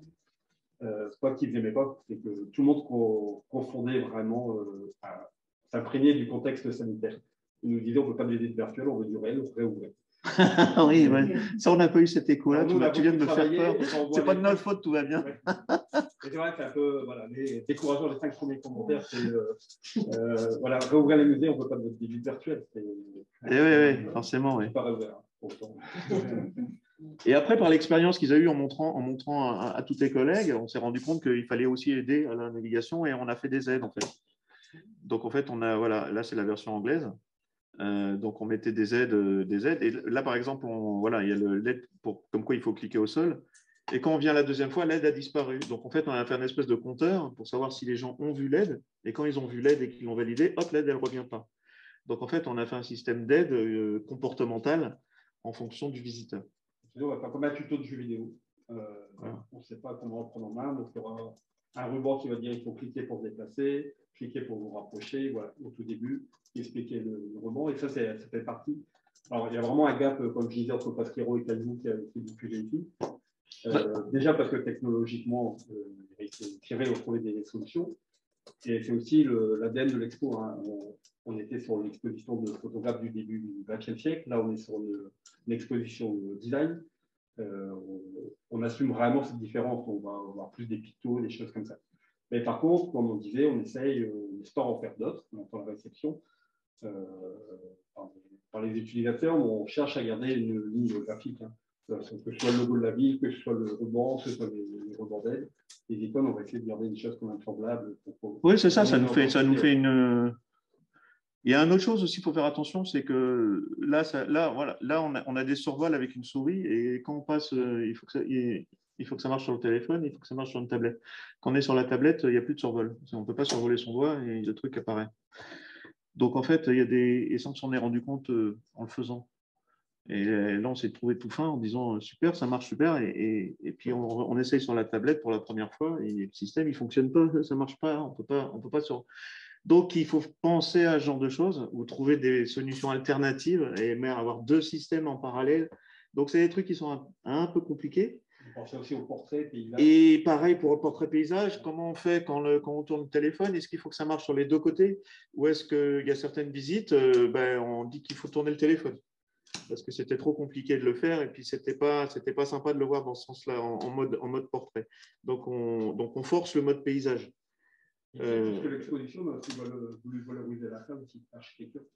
aussi, oui. Du coup, vraiment avec en afférence au système d'ascenseur qui nous permettait de, de voir un peu plus haut. Euh, oui, c'est ça. On, a, inventé ça, l'ascenseur, pour euh, qu'on a optimisé depuis. Voilà, donc en fait, c'est ça. Là, le bouton, ça nous permet d'avoir, quand on est sur une vue et qu'on a, a un, bouton d'ascenseur, hop, on se retrouve sur la même vue au-dessus. On fait des trucs, hein, raconter. Après, pour revenir au thème, comment on a coproduit écrit, euh, comment, comment, on a changé. Il faut savoir que j'avais beaucoup de liberté sur cette visite, sur la première c'était confiné. Euh, si on devait le refaire, peut-être on ferait un petit groupe de travail. Alors, même si on sait que plus il y a personne, euh, plus il y a d'avis divergents. Euh, il y a des problématiques, comme je disais, qui nous sont arrivées, à qui on n'avait pas pensé tout de suite, comme des choses comme l'hébergement de la visite, comme demander au prêteur l'autorisation de diffuser les documents. Et des choses dont on n'a pas du tout pensé et qui seraient centrales aujourd'hui, c'est aussi la question du développement durable et l'éco-responsabilité des, des visites virtuelles. Alors, je sais que c'est un peu la mode, ce n'est pas pour ça qu'on y pense, euh, je sais que c'est soulevé. Même si on sait que c'est les visiteurs peut-être qui sont les moins responsables avec leur déplacement privilégié pour une visite virtuelle, mais je sais que ça, c'est une question, par contre, qui sera centrale aujourd'hui, au niveau de, du musée que j'ai déjà vu. Merci. Vous avez le tour en français oui, oui, oui. Ouais. Ouais, je peux encore parler des heures, mais. Une démarche active. Mm. Moi, j'étais très d'union pour le musée et merci 3D. Euh, je vais expliquer à mes collègues que techniquement des choses n'étaient pas possibles. Euh, je vais expliquer à Eric et Thierry que non, ce n'était pas dans l'esprit de musée de mettre des choses qui planent, caricature. Euh, voilà, j'avais vraiment ce travail d'interprète, de, traducteur aussi des envies, de négociateur parfois. Hein. Et quand j'ai dit que c'est vraiment une interaction sociale, je pense que ce n'était pas aussi bien entendu. Je ne pas mis aussi bah, tout de suite d'accord sur la méthode de travail, que j'étais très actif et je pense que le résultat aurait été moins coûteux. Oui, c'est-à-dire que ça, c'est important ce que tu dis, c'est qu'on ne peut pas faire, non, on peut pas le faire tout seul. On ne peut pas nous donner les clés du camion et dire voilà, on fait le truc, vous débrouillez. C'est pas possible, ça ne marche pas comme ça. C'est-à-dire que la personne qui commande la visite doit savoir qu'elle va être obligée de travailler avec nous. Et si elle ne travaille pas, eh ben, la visite, elle n'avance pas parce que nous, on n'a pas les éléments. Et on a un exemple, on ne va pas dire c'était le client, on a un exemple où on fait un stade et on ne reçoit rien. On ne reçoit rien, et eh ben, on ne peut rien faire. Donc, c'est en stand-by. Et là, on envoie les factures parce que, parce parce que ça, ça traîne, on ne peut rien faire. Et là, si on voit l'horaire de nos envois de mail, je connais, c'est une heure du matin. Oui, ouais, mais ça, c'est toi en même temps. mais c'est vraiment, c'est vraiment, il faut, il faut que la personne qui nous commande la visite, il faut qu'elle soit consciente qu'elle va être obligée de donner du travail, enfin de travailler. On ne peut pas se débrouiller tout seul, c'est impossible. Impossible. On n'a pas les éléments, on ne peut pas nous, nous, nous, balancer les trucs comme ça et on se débrouille. Ça ne marche pas comme ça. Et juste la dernière fois avant la parole. Et qui était très agréable aussi, du coup, de 3D, c'est que, alors, pour les imposer dans leur retranchement, ce qui n'était pas possible. Euh, les deux est devenu possible. possible 24 heures. Et surtout, alors, ce qui est très important, c'est qu'ils ne vont pas hésiter à nous dire pour Euh, je prends l'exemple, euh, j'ai dit, on a rajouté des textes parce qu'on trouvait ça très inégal. Mais moi, je voulais l'uniformité dans visite. Que soit tous les textes soient affichés, soit qu'il y ait aucun. Euh, voilà, je ne voulais pas un entre-deux où des fois ça pop des fois ça affiché. Et j'en ai parlé avec ma direction, on leur a fait passer tous les textes. Ils m'ont appelé, euh, Thierry m'a appelé, il m'a dit T'es sûr? Je pense que ça ne va pas. Euh, du coup, on est revenu en arrière, on leur a fait ça trois jours de travail. Parce que derrière, c'était réintégré. Alors qu'ils auraient pu rien dire, hein, dire faire, euh, voilà, cette démarche d'être le client, on fait ce qu'on veut ce qui a été vraiment agréable. Ah bah, je crois que c'est notre, enfin, sérieusement, c'est notre rôle de dire, parce que le client, il ne sait pas. Hein, comment bah, nous, on a inventé, on en a fait plein, là, des visites. À chaque fois, on découvre des choses, on découvre, on tombe sur des, sur des, sur des os, on, on est coincé, ça ne marche pas, ou on croit que ça fonctionne, et puis en vrai, ça ne marche pas, parce qu'on peut se planter aussi.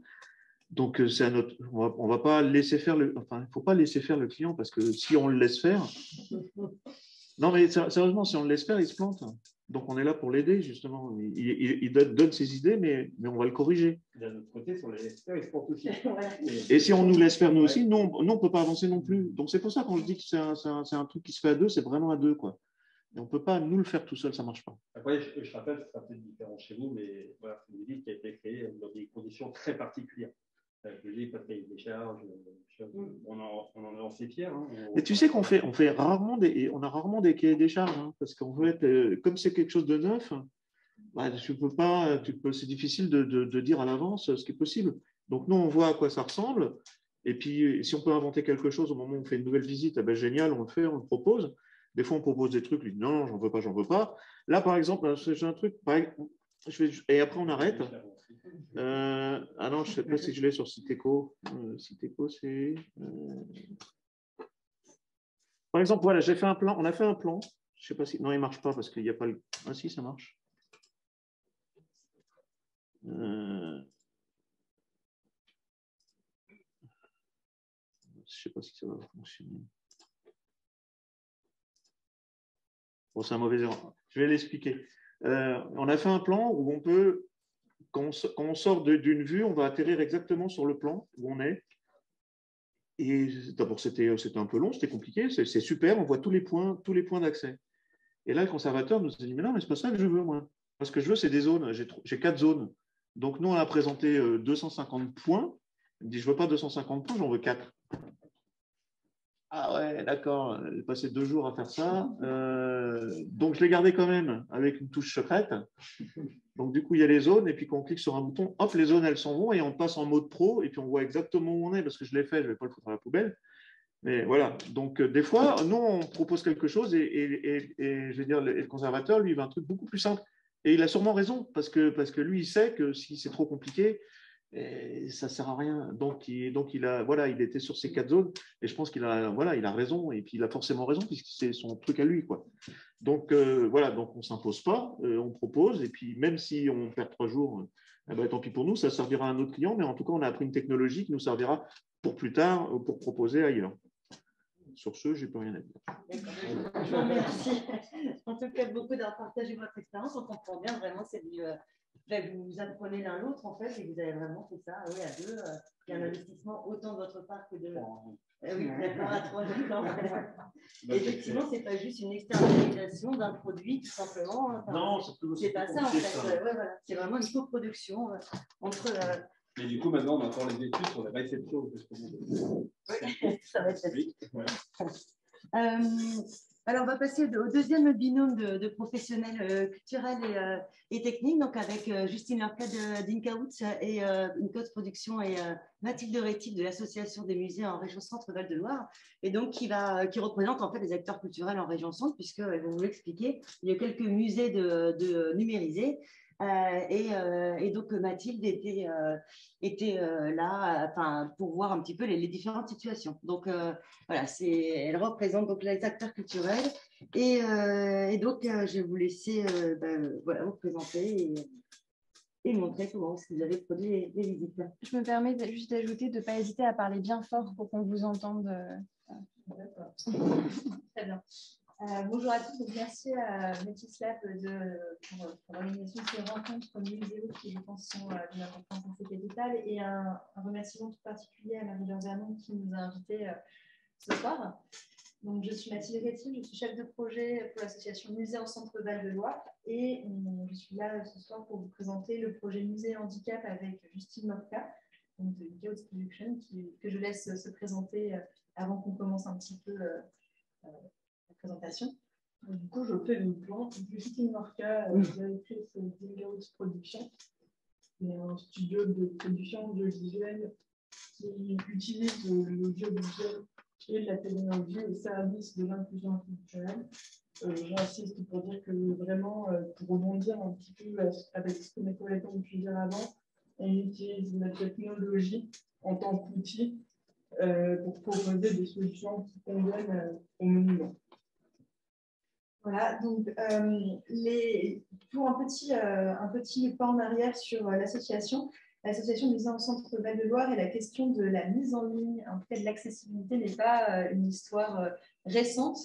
en fait, l'association, depuis plusieurs années, même depuis, depuis, ses, depuis ses débuts, la création du Musée en Centre Val-de-Loire, a pour mission de valoriser les collections des musées en les mettant en ligne. Donc, voilà, en donnant accès à un catalogue des collections en ligne et euh, en parallèle mène d'autres missions statutaires, dont la création de projets structurants de valorisation, euh, de, création de projets qui, euh, qui, valorisent les collections, qui valorisent les professionnels des musées. Et c'est à la fin d'un projet autour des publics de structures de santé qu'est né le projet Musée et Handicap, puisque ce projet est né d'un constat, à savoir que euh, certains, certains, bâtiments, certains musées n'étaient tout simplement pas accessibles physiquement.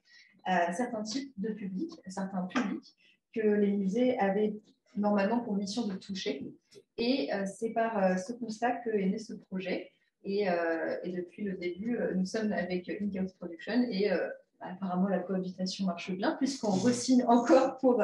enfin voilà, on, a décidé de repartir à l'aventure pour, pour cette année encore, j'espère pour plusieurs années.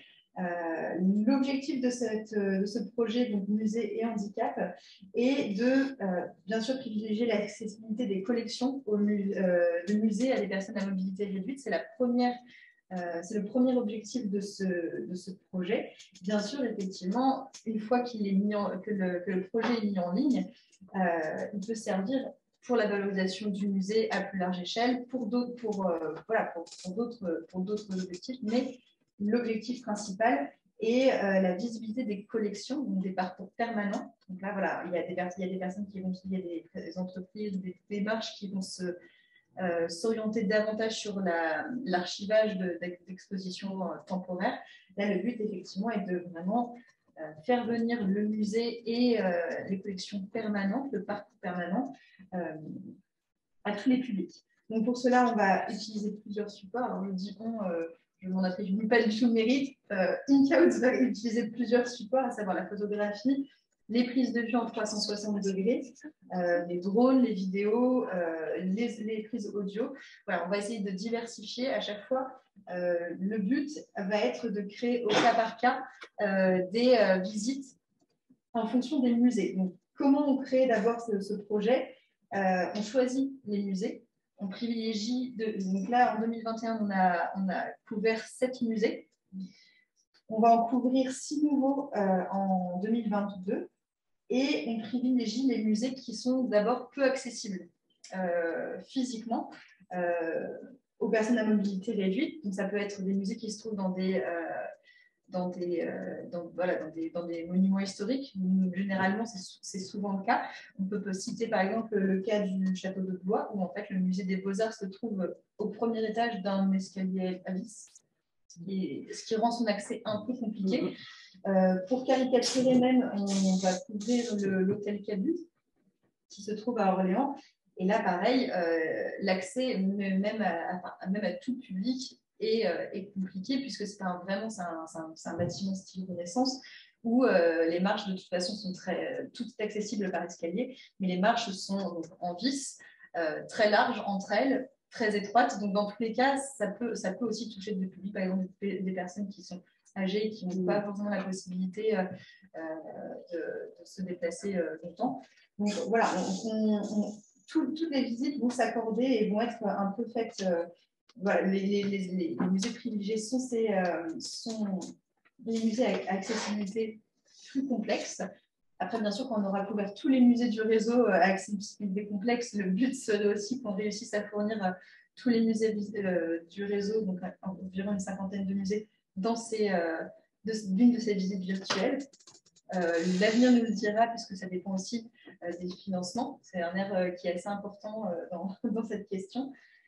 Euh, ensuite, une fois que le musée a été choisi, il y a un véritable dialogue qui va s'installer entre INCAUS, l'Association des anciens Val de Loire, et le conservateur ou euh, les acteurs de médiation du musée pour définir ce dont ils ont besoin. Et là encore, ça va déterminer aussi l'aspect du parcours. Euh, pour, pour beaucoup, ils vont souhaiter que tout soit filmé, euh, pour d'autres, comme le musée de la Marine de Loire à Châteauneuf-sur-Loire, euh, ils vont considérer qu'en fait, euh, la majorité de leur, musée est accessible aux personnes à mobilité réduite et ils vont privilégier la captation de, des seules parties inaccessibles. Et à chaque fois, donc, les résultats découlent de ces, de ces dialogues et des besoins spécifiques du, des besoins spécifiques du musée. Le but n'est pas d'arriver en leur imposant que tout soit couvert s'ils ne souhaitent pas que tout soit couvert, euh, qu'il s'agisse de leur choix. À chaque fois, c'est vraiment une question de choix et, euh, d'écoute avec euh, in Production qui va essayer de répondre au mieux à leurs besoins. Moi, j'agis en tant qu'un peu médiateur entre, in et le musée. Par exemple, pour rappeler, comme vous le disiez, rappeler d'envoyer certains cartels, de ne pas oublier fixer, fixer certains rendez-vous, de, rappeler qu'il faut envoyer certaines prises de vue. Voilà. Le, ça va être plus à mon but, et puis de mettre en contact l'entreprise Nicaus avec les musées qui en ont besoin, puisque logiquement à, l'association Musées Centre Val de Loire, on connaît les, les musées de notre réseau et on les choucroute, on essaye en tout cas. Euh, et ensuite, une fois que euh, les besoins ont été ciblés, on va essayer donc de sélectionner les œuvres euh, et d'échanger avec, les, avec médiateurs sur, leurs besoins. certains, alors bien sûr, toutes les œuvres ne vont pas être cliquables. lorsque, le visiteur en ligne va déambuler librement dans les visites virtuelles, il va pouvoir interagir avec certaines œuvres malheureux, euh, pour des questions de budget et puis aussi pour, pour orienter davantage la visite, tout ne va pas être cliquable. Après, toutes les, enfin, même, même par prise de vue, les, euh, les œuvres peuvent être admirées euh, de, façon, de façon tout à fait convenable, même plus que convenable. Mais voilà, on va déterminer avec le musée quelles œuvres vont être particulièrement cliquables ou non. si les cartels sont en falque ou non, si les cartels sont sont lus en audio description si euh, euh, on traduit. Voilà, une, nouvelle, une nouvelle chose, c'est que autant les. Voilà, on essaie de s'améliorer aussi avec, euh, avec le temps, donc c'est vraiment une question de construction. autant les premières vidéos n'étaient pas forcément traduites, autant là, c'est ce qu'on a essayé de faire. On a essayé de l'ouvrir davantage en proposant effectivement et des falques et une traduction en tout cas en anglais systématique. Et puis euh, ensuite, euh, une fois que tout ça a été, euh, mis au point, il y a le tournage. Justine vous en parlera mieux que moi de toutes les techniques de, de, tournage, de montage. Ça, c'est son rayon. je vous laisserai lui en, parler. Et une fois que l'œuvre a été montrée, pardon, que la visite a été montée, dans un souci justement d'accessibilité, il est disponible sur place, sur tablette, ou sur le site internet de l'Association des musées en région centre de façon gratuite. Voilà, pour toucher aussi et le public ciblé et un public plus large. Donc Justine, je vais te laisser euh, aborder la partie très pointue et on pourra revenir sur, les, euh, sur la question des, euh, financements. Merci, plus tard. Très. Je vais parler des trois, trois moments clés donc, euh, le, déroulement du tournage euh, avec le, montage, les différentes technologies utilisées qui sont un petit peu différentes de, cette d'immersive 3D, mais qui, je pense, sont, sont jumelles. Et euh, surtout, le plus important, comme disait Mathilde, c'est de travailler avec les médiateurs. Je pense qu'on l'a tous suffisamment répété, mais on ne travaille pas tout seul. Je ne suis pas experte des monuments dans lesquels on intervient. Ils ne sont pas experts de la technologie. Donc, euh, mon travail, c'est de proposer différentes technologies, sachant qu'on apprend en même temps, on évolue de nouvelles technologies, comme euh, je disais, en bidouille. On, dort moins et on bidouille et on trouve de nouvelles, de nouvelles études, de nouvelles technologies, de nouvelles lignes de collège qui permettent un certain, un certain nombre d'options différentes qui peuvent être intéressantes ou non, suivant les musées, et on propose et on voit ce que l'on peut faire ensemble. Du coup, avant le tournage, le plus important, c'est déjà la rencontre. Alors, non pas avec Mathilde, parce que maintenant, on commence à se connaître plutôt bien, mais avec chacun, euh, chaque médiateur euh, des différents musées avec lesquels on, travaille. Parce que euh, finalement, comme Mathilde disait, tu, tu restes un peu à l'extérieur une fois que le tournage a commencé et on travaille réellement avec les médiateurs ou les conservateurs des musées. Donc, euh, on commence notre relation. En général, on va visiter le monument euh, une fois euh, avant, avant le tournage pour ne serait-ce que déjà échanger, être sûr que les médiateurs ont bien compris aussi notre rôle et qu'est-ce qu'on allait faire. Parce que c'est quelque chose de relativement nouveau. on a eu un, un, cas, par exemple, pour la maison musée des cartes, on est arrivé sur le tournage, on n'avait pas pu faire une rencontre préalable parce qu'on a été pris par le temps. Et on est arrivé et elle, pensait que c'était une vidéo.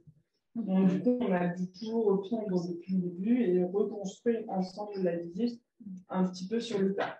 Donc, euh, il y a vraiment ce travail de vraiment apprendre à connaître l'un l'autre, le travail de l'un comme de l'autre, et de connaître surtout l'environnement qu'on va filmer pour essayer d'en retranscrire une version la plus fidèle, mais aussi la plus intéressante possible, surtout en s'adressant à, un public qui est notre cible et, euh, euh, un public handicapé. moi, je suis en fauteuil roulant, donc j'ai une vision aussi de visiteurs euh, PMR avec certains. Enfin, je sais dès que je suis arrivée dans l'association et que j'ai pu visiter, le premier c'était le musée des Beaux-Arts de Tours. J'ai fait un tour dans, toutes les salles du musée qui est immense. Et moi, je mettais un point d'honneur à leur, euh, leur dire qu'on allait photographier en 360, même les couloirs, où pourtant il n'y avait pas forcément d'œuvres exposées. Parce que là-dedans, pour moi, c'était important pour bien comprendre l'architecture d'un monument, euh, pour pas être désorienté et complètement perdu, de, de, se balader réellement de manière autonome on n'est pas dans un diaporama où on passe d'une pièce à l'autre sans, sans, réel choix. Ici, on se balade comme euh, une personne euh, le ferait euh, in situ. Donc, donc, on a tout ce travail-là. Et, et, donc, c'est important voilà, de, rencontrer l'environnement et les, médiateurs. À partir de là, on, parle ensemble du choix de la sélection des œuvres. Alors, souvent, sur la sélection même des œuvres, je, n'interviens que peu, parce que c'est les médiateurs, les conservateurs les plus euh, expérimentés dans leur collection. Alors en général, on a quelques conseils de base pour essayer d'avoir une, visite assez homogène.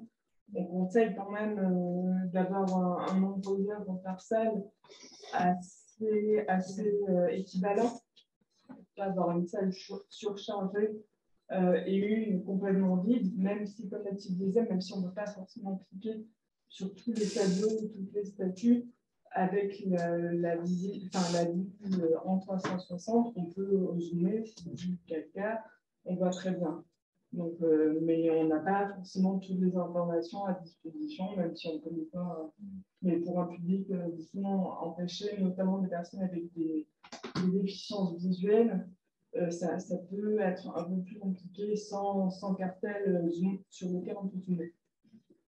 Donc, euh, une fois la, la sélection d'œuvres vraiment faite, alors soit tous les cartels sont refaits, soit c'est aussi l'occasion pour les médiateurs de remettre un petit peu leur cartel au goût du jour pour avoir aussi une, homogénéité entre les, les 30 cartels choisis dans le musée, les 50, les 70, ça dépend, ça dépend des, musées. Euh, donc, ils essaient de, retravailler aussi pour revoir un petit peu euh, la, médiation. C'est une bonne occasion de le faire. Et donc là, nous, on, attend le. Enfin, il échange. On attend les documents, on attend les cartels, on renvoie, on conseille un petit peu, mais pour le moment, on pas eu sur les cartels et les aides, c'est généralement présenté, mieux que c'est pas mon métier. Donc, voilà. Nous, après, par contre, avant le tournage en soi, on travaille sur la cartographie du monument. Comme je disais, en général, on a déjà pu euh, y aller et, et s'en imprégner. Et bon, du coup, on essaie d'avoir un parcours assez fluide. Donc, je disais, on passe par les couloirs, les escaliers, tout, tout y passe. Et en général, euh, donc on a des, des hotspots, des, points sur lesquels on peut se déplacer qui restent visibles pour faciliter euh, le parcours d'une personne avec handicap avec euh, un peu plus de difficultés parfois pour se déplacer, il faut que ça quand même assez évident. Euh, et donc on a, on a souvent euh, deux, au minimum deux, souvent trois, quatre hotspots pour, pour donner une plus grande liberté aux visiteurs en ligne qui n'est pas restreint et condamné à, à suivre un parcours linéaire qu'on lui aura donné, il veut vraiment se déplacer dans l'espace comme il en a envie, à droite, à gauche, derrière, enfin, pas très un dessin, mais pour euh, vraiment lui donner la liberté de l'autonomie. Et je pense que ça, incite euh, le visiteur à avoir une consommation de l'art un peu plus, euh, un peu plus spontanée, où il peut se déplacer plus parce qu'une œuvre l'aura interpellé et traverser la, pièce pour aller à l'œuvre qui a, qui a parlé plutôt que de suivre un chemin qu'on lui a donné. Donc, il peut prendre une oui, la consommer, la regarder, la lire, l'écouter, ou ne pas, ne pas cliquer dessus si ce n'est pas son, son, son, choix. Et pour moi, le, le choix et l'autonomie du, visiteur, même s'il n'est pas in situ, euh, c'était très important. Une fois qu'on a cartographié, on, on va sur place, mais avant de parler vraiment du tournage, je reviens sur la médiation. Bon, on en a un petit peu parlé, c'est vraiment échanger, s'écouter, je ne vais pas, pas répéter. Et, euh, et donc, euh, souvent, sur le choix des œuvres exposées, les tableaux, comme je disais, on a peu de, de conseils, ils font déjà une très bonne idée de, de ce qu'ils vont faire. Mais on a des exemples où, euh, où la situation euh, du musée même est différente. Par exemple, on a travaillé au musée de Marine de Loire, qui donc avait un espace euh, plus petit, puisqu'on a filmé seulement une partie. Et donc, c'était sur euh, deux, deux, salles. Euh, et donc, du coup, là, on a fait le choix de, au niveau des œuvres, de pouvoir cliquer sur toutes les œuvres à défaut d'avoir un espace plus grand, on a, on a vraiment travaillé sur le contenu. Et, donc, euh, le musée de Loire bénéficie de, de l'aigle. Et donc, ces collections, il y a seulement une partie de la collection qui a exposé les fonds d'événements. Et donc là, il venait un, un, un questionnement, c'est qu'on arrivait à un, un jour précis qui met une partie de la collection qui est exposée, mais l'autre, l'autre partie qui n'est pas visible, c'est aussi dommage. Donc, du coup, ce qu'on fait, c'est qu'on a proposé, et donc ça, c'est des discussions qui viennent un peu sur le tas en discutant avec les médiateurs, on apprend que la moitié de la collection, est dans des réserves. Donc, du coup, on a proposé de faire euh, un, genre de, de, book où on peut faire défiler les œuvres et des cartels euh, sans pour autant les avoir euh, sur la partie 360. Et ça, précisément, c'était vraiment une, expérience inédite par rapport à ce que tu avais pu faire dans, les autres, dans les, autres, musées. Donc, ça, montre vraiment qu'à chaque fois, c'est une, une, coopération cas par cas une, une discussion entre les prestataires et, et, le musée. Par contre, là où on peut intervenir un petit peu plus au niveau du, conseil, vraiment sur le sujet même, c'est au niveau des vidéos. On, on filme des vidéos euh, non pas en, en, 360 mais en, en DV. On en 360, mais ça rendrait les visites encore plus lourdes. Mais on, on le fait pour d'autres euh, euh d'autres clients, euh, avec la culture, mais on fait des vidéos en 360. Et donc là, on, on bon, là pour des raisons budgétaires, on est parti sur quatre vidéos par musée à peu près, un, un, pack. Et là, euh, le but de, ces vidéos, c'était vraiment pour nous euh, de, de, mettre en avant le médiateur, pour justement ramener ce côté humain euh, dans, dans la visite virtuelle, pour vraiment avoir cette passation euh, et leur travail mis en avant aussi. Euh, comme je disais, vraiment, j'insiste sur la, visite virtuelle n'est pas à la place de la visite institut, c'est vraiment un outil, euh, soit euh, qui vient à la place, mais à défaut d'un moyen d'accessibilité, euh, un ascenseur en grand, soit pour faire du avenir, mais une continuité. Et euh, donc, par exemple, on, met donc les médiateurs en avant, donc ils peuvent présenter soit une œuvre euh, choisie, euh, à, la, Stéphane Bern, c'est parlant, soit un, une salle, une collection, soit le monument dans lequel on, est présent. Donc, par exemple, l'exemple un peu inédit, c'est la maison de Descartes, où quand on est arrivé, normalement, on n'avait que quatre œuvres euh, à cliquer avec cartel. Donc, c'était censé être relativement simple. Quand on est arrivé, on s'est rendu compte que la maison était extrêmement riche au niveau des informations et du texte la scénographie était un peu euh, datée un petit peu, elle d'avant l'arrivée de la conservatrice. Et, euh, les murs étaient tapissés de, de textes, c'était très lourd. Et, et souvent, les, visiteurs ne, ne pas au bout ou ne lisent pas. Donc, ce qui en est ressorti, déjà des, de la richesse du musée et des conversations avec la, la médiatrice, ce qui est pratique à partir, c'est de que Bastien, euh, film, vu que je suis en fauteuil et n'ai pas du tout accès à la plupart des événements, je parle avec les médiateurs. et pendant qu'on parle, du coup, pas mal de, pas mal de, de ressentis et de retours euh, euh, sur G, c'est du coup, on peut, on, peut y faire face dans le montage. Donc là, par exemple, en discutant, elle me disait que c'était effectivement très beau. Donc, ce qu'on a voulu euh, faire ressortir dans la vidéo, c'était euh, d'un côté une vidéo sur euh, un peu de présentation et un peu un, un avertissement de, de, la richesse justement de l'intérieur. Et une autre vidéo sur le côté beaucoup plus humain de René Descartes, qui est beaucoup moins déteint euh, à l'intérieur du musée qui se concentre vraiment sur le côté très académique, euh, les sciences, les mathématiques, la philosophie, et au final très peu sur sa vie personnelle. Et au final, apparemment, de ce que Mme Poutine disait, la plupart des familles qui viennent, ne sont pas forcément euh, des, des, chercheurs sur les cartes, demandent plein de questions sur sa famille, ses enfants, et donc, du coup, voilà, on essaie un petit peu de démocratiser et de dépousser et un petit peu euh, mettre de côté ce, côté un peu élitiste des fois pour amener une nouvelle porte d'entrée un peu plus euh, abordable à un musée qui pourrait parfois être très très lourd. Et là, c'était une bonne occasion de revoir un petit peu la scénographie.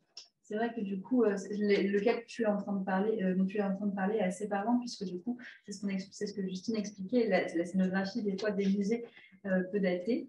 Après, pour des raisons qui peuvent s'expliquer pour différentes raisons, la question de la rénovation d'une scénographie, la rénovation, un nouvel accrochage peut prendre du temps, c'est du temps, de l'argent, c'est des réalités concrètes auxquelles se heurtent les musées tous les jours. Et donc apporter cet outil en prolongement euh, à la, médiation du musée euh, permet aussi au musée bah, de, sauter sur cette occasion pour des fois euh, faire vivre une idée du musée et un discours du musée qu'ils n'ont pas la possibilité à l'instant T, à l'année A, de, de, mettre en place. Donc là, effectivement, ce côté plus humain dont Justine est en train de parler, ce côté plus humain, la, enfin, voilà, la discussion de ce côté plus humain de, de, l'artiste dans, dans, ce musée, qui est un point que la conservatrice souhaite vraiment valoriser, aborder, euh, et qu'elle ne peut pas le faire pour, euh, le moment. Euh, elle, peut, elle peut, du coup, en tout cas, l'explorer avec la visite virtuelle. Merci. du coup, pour le tournage, on commence en général avec les prises de vue 360 pour, faire le parcours. Et comme ça, on peut vraiment visualiser les, œuvres qui sont cliquables pour, pour pouvoir bien intégrer ça euh, au niveau du montage. Donc, on commence par le parcours 360 et après, on fait tout le reste, c'est-à-dire euh, photo, prise de vue euh, des, des œuvres en question, euh, tout ce qui est euh, les vidéos scénarisées, justement, avec les, les médiateurs. Pareil, en général, on, fait sur plusieurs jours. Hein. Donc, on a des réunions avec les médiateurs, avec un, un semblant de script euh, pour les orienter. Pareil, on, les oriente au niveau du timing parce qu'il ne faut pas non plus que ce soit trop long. Euh, parce que sur ce genre de format, euh, on a tendance à cliquer très vite, assez, assez à même. Il faut que ce soit informatique, assez, assez abordable mais sans être un documentaire d'une heure. Ce qui parfois est très dur parce que forcément, des médiateurs, ils, connaissent leur sujet. Nous, on est passionnés, donc on écoute, mais au final, il faut arriver à cadrer ça dans euh, trois minutes. Donc euh, voilà, on, fait les, différentes prises de vue. Et donc après, on, on montage. Merci. On s'occupe du coup de, de la, du stitching, c'est-à-dire le collage de nos six, euh, photos euh, fisheye, de grand angle. On les, on les colle, on fait le panorama 360, on retouche. Euh, très légèrement, on essaie de, de garder vraiment l'ambiance et de ne pas dénaturer le, musée avec la scénographie qui a déjà été travaillée. Et ensuite, on, fait le parcours, euh, le parcours euh, vraiment de visite avec les, différents points, les interactions. Et au final, maintenant, on a pris un peu la main. Le plus long reste les, fenêtres qu'on crée donc sur mesure avec euh, justement la photo sur laquelle on peut cliquer, peut, sur laquelle on peut zoomer aussi, le texte donc on travaille, sur lequel on peut zoomer aussi. Euh, et euh, donc, tous ces textes, tous ces cartels, on les. Alors, c'est pas de la traduction, on les transforme en audio, MP3, donc pour une écoute. Donc, euh, pour, par exemple, des, personnes justement malvoyantes qui pourront du coup écouter le texte. Et au final, c'est un outil qui est aussi pas mal apprécié des jeunes enfants pour justement, pour de la médiation, ça marche assez bien. Et on a parfois aussi des extraits musicaux euh, sur les œuvres euh, musicales, par exemple. Euh, donc, on essaie vraiment de varier les, formats pour avoir un petit peu, pour briser nos routines de, visite, avoir un peu de son, de la vidéo, des photos, du texte, pour un petit peu dynamiser la, visite.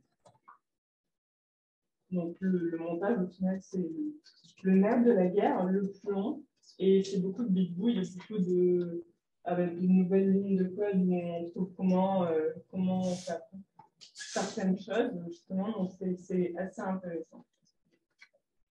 Et donc, euh, vraiment, pour le côté technique, euh, ne va rester très longtemps, mais on utilise euh, donc une caméra 360, un stade 360. On travaille sur 3D Pro qui me laisse assez de assez une grande manœuvre au niveau du montage. On peut vraiment euh, insérer, modifier différents formats faire vraiment des visites sur mesure et avec des designs différents. Donc, on est, on est aujourd'hui très, très content. Et, euh, pour la, technique vidéo, on est sur la caméra euh, Blackmagic de studio euh, pour les photos, pareil, et pour euh, le montage qu'on a quand même C'est juste euh, à titre informatif. Voilà, et pour les photos. Et ensuite, juste le, donc le travail justement des, des, fenêtres dont on parlait avec le texte. on a souvent de la, de la traduction en file. Donc, on peut appuyer et avoir l'équivalent de, de ce cartel en fait. Donc, euh, souvent, les musées nous les, nous fournissent quand ils en, en ont fait quelques-uns. Et aujourd'hui, justement, pour automatiser un petit peu euh, la, la, enfin, la, on, on, travaille avec une ESAT euh, de la région d'Orléans, justement, qui, elle, traduit les textes en fait parce qu'il faut que ce soit approuvé par, euh, et labellisé tamponné par des personnes justement avec euh, des, des, troubles mentaux, des troubles psychiques non Et donc, euh, pour la fin, on livre sur clé USB pour la version justement diffusable en ligne, mais le plus important pour nous, c'est de le fournir sur un support hardware tablette ou table numérique adaptée pour un fauteuil roulant et assez, assez euh, articulé. Euh, donc, euh, on fournit l'équipement ou alors le musée des fois des, des fois des, des, équipements et donc on fournit une tablette, enfin une visite pré-à pour du in situ ou alors du hors mur comme on a, on a vu à, à Tours Châteaubriand aussi. Les médiateurs font beaucoup hors les murs avec justement ces tablettes pour aller dans les hôpitaux ou, ou pour recevoir même, par exemple, à, à Blanc, on a une grosse commande de 10 tablettes plus une tablette qui est mère, c'est-à-dire qui pilote les autres, parce qu'ils ont une salle dédiée euh, à la médiation, ils peuvent accueillir du public, souvent des groupes euh, de foyers, par exemple, d'hospices, euh, où justement ils peuvent faire la visite d'idées tout en étant un peu guidés, justement, avec le pilotage, le pilotage de la médiation.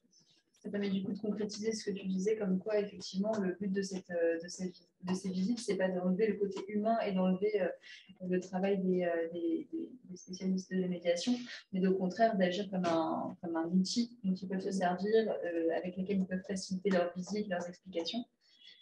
Et du coup, je, rebondis sur cette question de tablette pour, pour souligner davantage le fait que même cette question des tablettes et d'exploitation, c'est une question de coopération, puisque effectivement, lorsque au moins l'entrée du musée est accessible euh, physiquement, euh, les personnes peuvent consulter sur tablette in situ, mais des fois, l'accès même à l'entrée du musée est compliqué. Et dans ce cas, il faut trouver une solution pour que, pour que cette, cette visite elle soit, euh, elle soit elle soit exploitable, euh, pas trop loin du musée pour garder un peu cette, ce, lien avec le musée. Mais du coup, moi, la, première, euh, la, première, le premier exemple qui me vient en tête, c'est le musée de, de Beaux-Arts et d'Histoire naturelle de Châteaudun, où en fait, l'entrée même au musée euh, ne peut pas se faire. Et donc, du coup, il a, été, il a dû se poser la question de où, où est-ce qu'on met cette tablette, où, où est-ce qu'on exploite cette visite. Et en fait, on a trouvé que, euh, euh, que ce serait intéressant que ce soit exploité au niveau de l'office de tourisme, qui est situé vraiment à deux pas euh, du musée, qui est lui accessible au PLR et qui permettra quand même aux personnes d'être, voilà, aux, visiteurs d'être réorientés s'ils ne peuvent pas arriver dans l'entrée du musée, d'être réorientés dans un lieu très proche et de parcourir la visite quand même pour que le travail soit, soit, soit, soit apprécié. En plus, ça peut attirer les visiteurs qui ne peut-être pas initialement aller au musée, mais qui se retrouvent à la mairie et donc on voit les dispositifs mis en place et du coup euh, le, test pour bon voir le, musée qui a deux pas. C'était une, une, solution qui marchait plutôt bien pour, euh, pour tout le monde. Donc euh, voilà, mais ça, ça vient avec voilà, les discussions, de la mise en pratique. Et la, réalité, et la réalité de chaque musée, parce que chaque musée est des, réalités géographiques, euh, financières, euh, des réalités euh, d'avancées en médiation qui sont différentes. Donc, il faut travailler avec, avec ces, différents, ces différents éléments. oui, ça rejoint un peu ce que je disais à la fin. Donc, on a la, possibilité du coup de, de, mettre à disposition plusieurs équipements de hardware de diffusion la possibilité de la mettre en ligne. Et aussi, forcément, c'est compatible en, VR. On a pu faire un, un joli test euh, au château de Blois euh, avant Noël. On est venu équiper euh, de la ville qu'on avait fait du mode de Blois avec notre casque VR et donc sur un forum. Et donc le casque VR a très peu été reposé. Et donc c'est vrai que vient une question soit la possibilité au monument de l'acheter ou de le louer euh, par moment, mais surtout d'intervenir avec des médiateurs, avec des équipements euh, pour prendre en, charge euh, des visiteurs. Merci beaucoup. Merci, beaucoup de votre présentation, Justine euh, et, euh, et, Marie. Euh, merci à tous les quatre d'avoir présenté votre, vos modes de collaboration professionnelle. On a vraiment des, des, situations bien différentes. On voit que des ajustements sur place, mais vous n'allez pas fonctionner de la même façon forcément à chaque fois. On a, et merci bien sûr Sébastien pour l'ouverture la, la, mise en perspective théorique notamment sur les discours d'escorte. Euh, alors, on a quelques questions dans le chat, peut-être aussi dans la salle, je ne sais pas. C'est on jamais. Euh, alors sinon, on a quelques questions dans, le chat. Euh, alors d'abord, une pour, pour Sébastien, en fait, plutôt orientée pour Sébastien, en plus, ensuite, ça plutôt général. il y a une question sur l'évolution des, arguments au fil du temps au niveau des dispositifs numériques. Euh, est-ce que tu penses qu'il y a une évolution des arguments euh, dans le temps euh, des dispositifs Donc, c'est des appris et on pourrait creuser.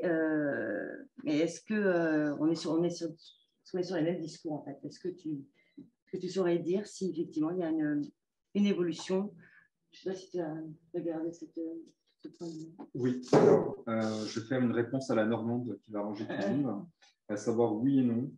je pense effectivement oui, dans le sens où il y, a, une reprise partielle de ces arguments, euh, dans le sens où en fait, moi, les, premiers résultats que j'ai pu trouver euh, reprennent en partie euh, d'autres recherches qui ont pu être menées sur les discours, les discours d'escorte. Je pense notamment aux travaux d'Eva Sandry, sa thèse qui date de 2016, quand on était plutôt sur des dispositifs de type cartel numérique, table multitouch il y a un certain nombre de, discours, alors là, au croisement du discours professionnel, médiatique et politique, euh, qui, refrènent des choses que j'ai pu euh, voir sur euh, les sites web, les sites web des, différents acteurs hein, au sens large de la visite virtuelle. Il y a quand même quelques spécificités, mais pareil, hein, j'ai un peu l'impression de, pas l'impression d'inventer la poudre en disant ça, qui sont spécifiques en fait à la, solution en tant que telle. C'est notamment, je pense, au focus euh, sur les publics éloignés ou empêchés. Ça me, paraît être un argument très fort, en fait, utilisé euh, en faveur de la. pour justifier, en fait, euh, le fait voilà, de, privilégier, par exemple, la visite virtuelle, la visite virtuelle plutôt qu'une autre solution technologique. et aussi tout ce qui est autour, tout ce qui est autour de l'immersion. Euh, ça paraît que les deux, euh, le caractère innovant de la solution, j'ai envie de dire, c'est un peu, c'est un peu un lieu commun en fait, euh, mais qui est important. C'est-à-dire que parfois, il y a des appels à projets qui sont conditionnés au financement innovant. Il y a parfois des collectivités territoriales qui nous financent un dispositif numérique ou un dispositif en général que parce qu'il est numérique et innovant. donc, je pense qu'il y a un vrai enjeu en fait pour les entreprises, pour les entreprises à, à présenter leur, projets comme étant des projets innovants, parce qu'il y a parfois des, conditions, des financements qui sont conditionnés à ce caractère innovant. Moi, j'ai une petite question avant qu'on reprenne le, chat. Je, je, réclame la parole. Euh, vous avez, enfin, dans les, ces deux exemples de, de, collaboration, dans les deux cas, c'était euh, on fait l'expo virtuelle parce qu'il euh, y a inaccessibilité, donc la personne ne peut de toute façon pas venir sur place, que ce soit à cause de la, fermeture des musées, donc là c'est tout le monde qui ne peut pas venir sur place, ou seulement certaines personnes. Et donc ce n'est pas un produit d'appel, euh, c'est-à-dire euh, l'objectif est de donner envie de venir. Est-ce que vous pensez qu'il est possible qu'une personne ait la même réaction émotionnelle par rapport à une œuvre d'art qu'elle soit euh, sur place par rapport à cette visite virtuelle. Est-ce que le fait de transposer euh, en ligne, euh, est-ce qu'il y a des méthodes qui permettent de, de créer cette, cette, relation à l'art qui ne soit pas juste informationnelle, mais qui permettent d'avoir une réaction émotionnelle, sensitive par rapport aux œuvres qui sont présentées? Et c'est collectif, hein, n'hésitez pas à prendre la parole.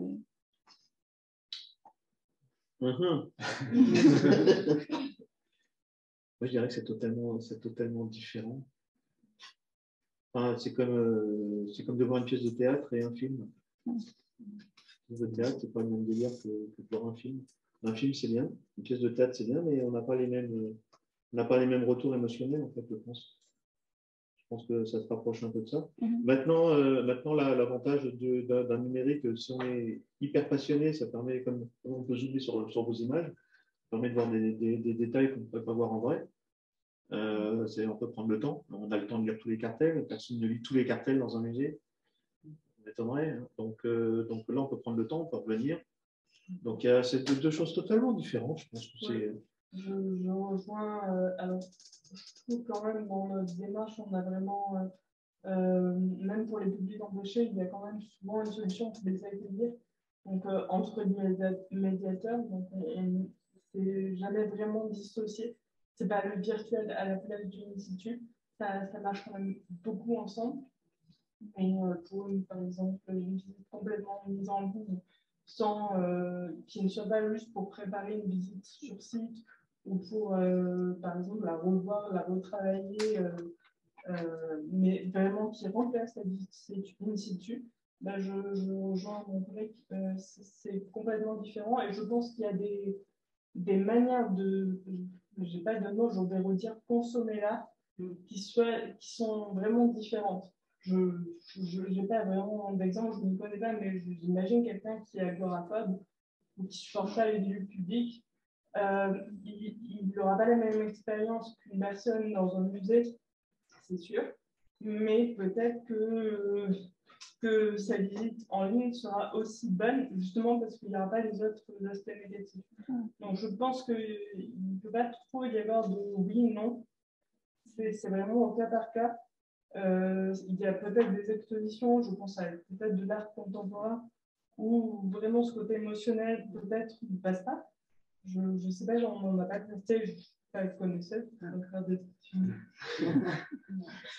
mais, euh, mais je pense que c'est vraiment au cas par cas, euh, suivant la personne, ses habitudes de visite euh, et comment, voilà, je ne trouve pas de nom, mais elle consomme, elle consomme l'art. Et puis, pardon. Merci.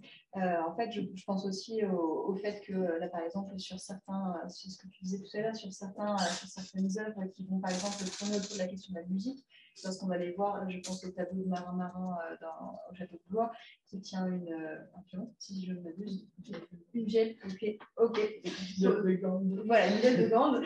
en fait, un visiteur in situ va voir le tableau euh, Est-ce qu'il va se faire une idée de, du son, par exemple, que va produire ce, cet, instrument euh, euh, que je n'arrive pas à prononcer, donc je me rappelle déjà plus le nom.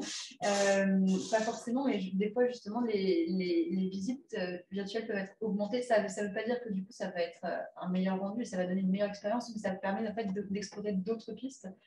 Euh, j'imagine aussi que les recherches vont porter sur le fait qu'il euh, y a des personnes qui vont consommer de la visite virtuelle alors qu'elles n'iraient pas dans un musée. Là, je pense que c'est une question qui revient assez souvent, en tout cas un point qui revient assez souvent.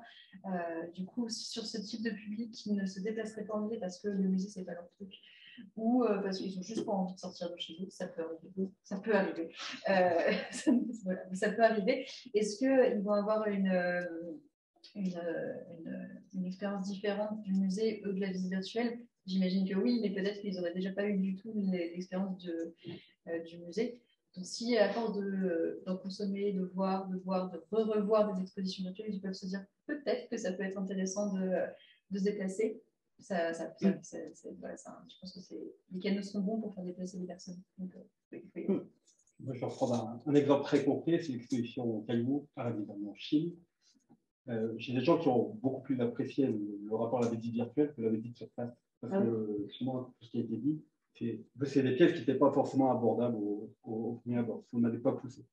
Les gens qui sont venus, qui ont consommé, qui sont passés, euh, ils n'ont pas tous saisi le, les tenants, les aboutissants, aussi la qualité euh, des artistes, de l'objet.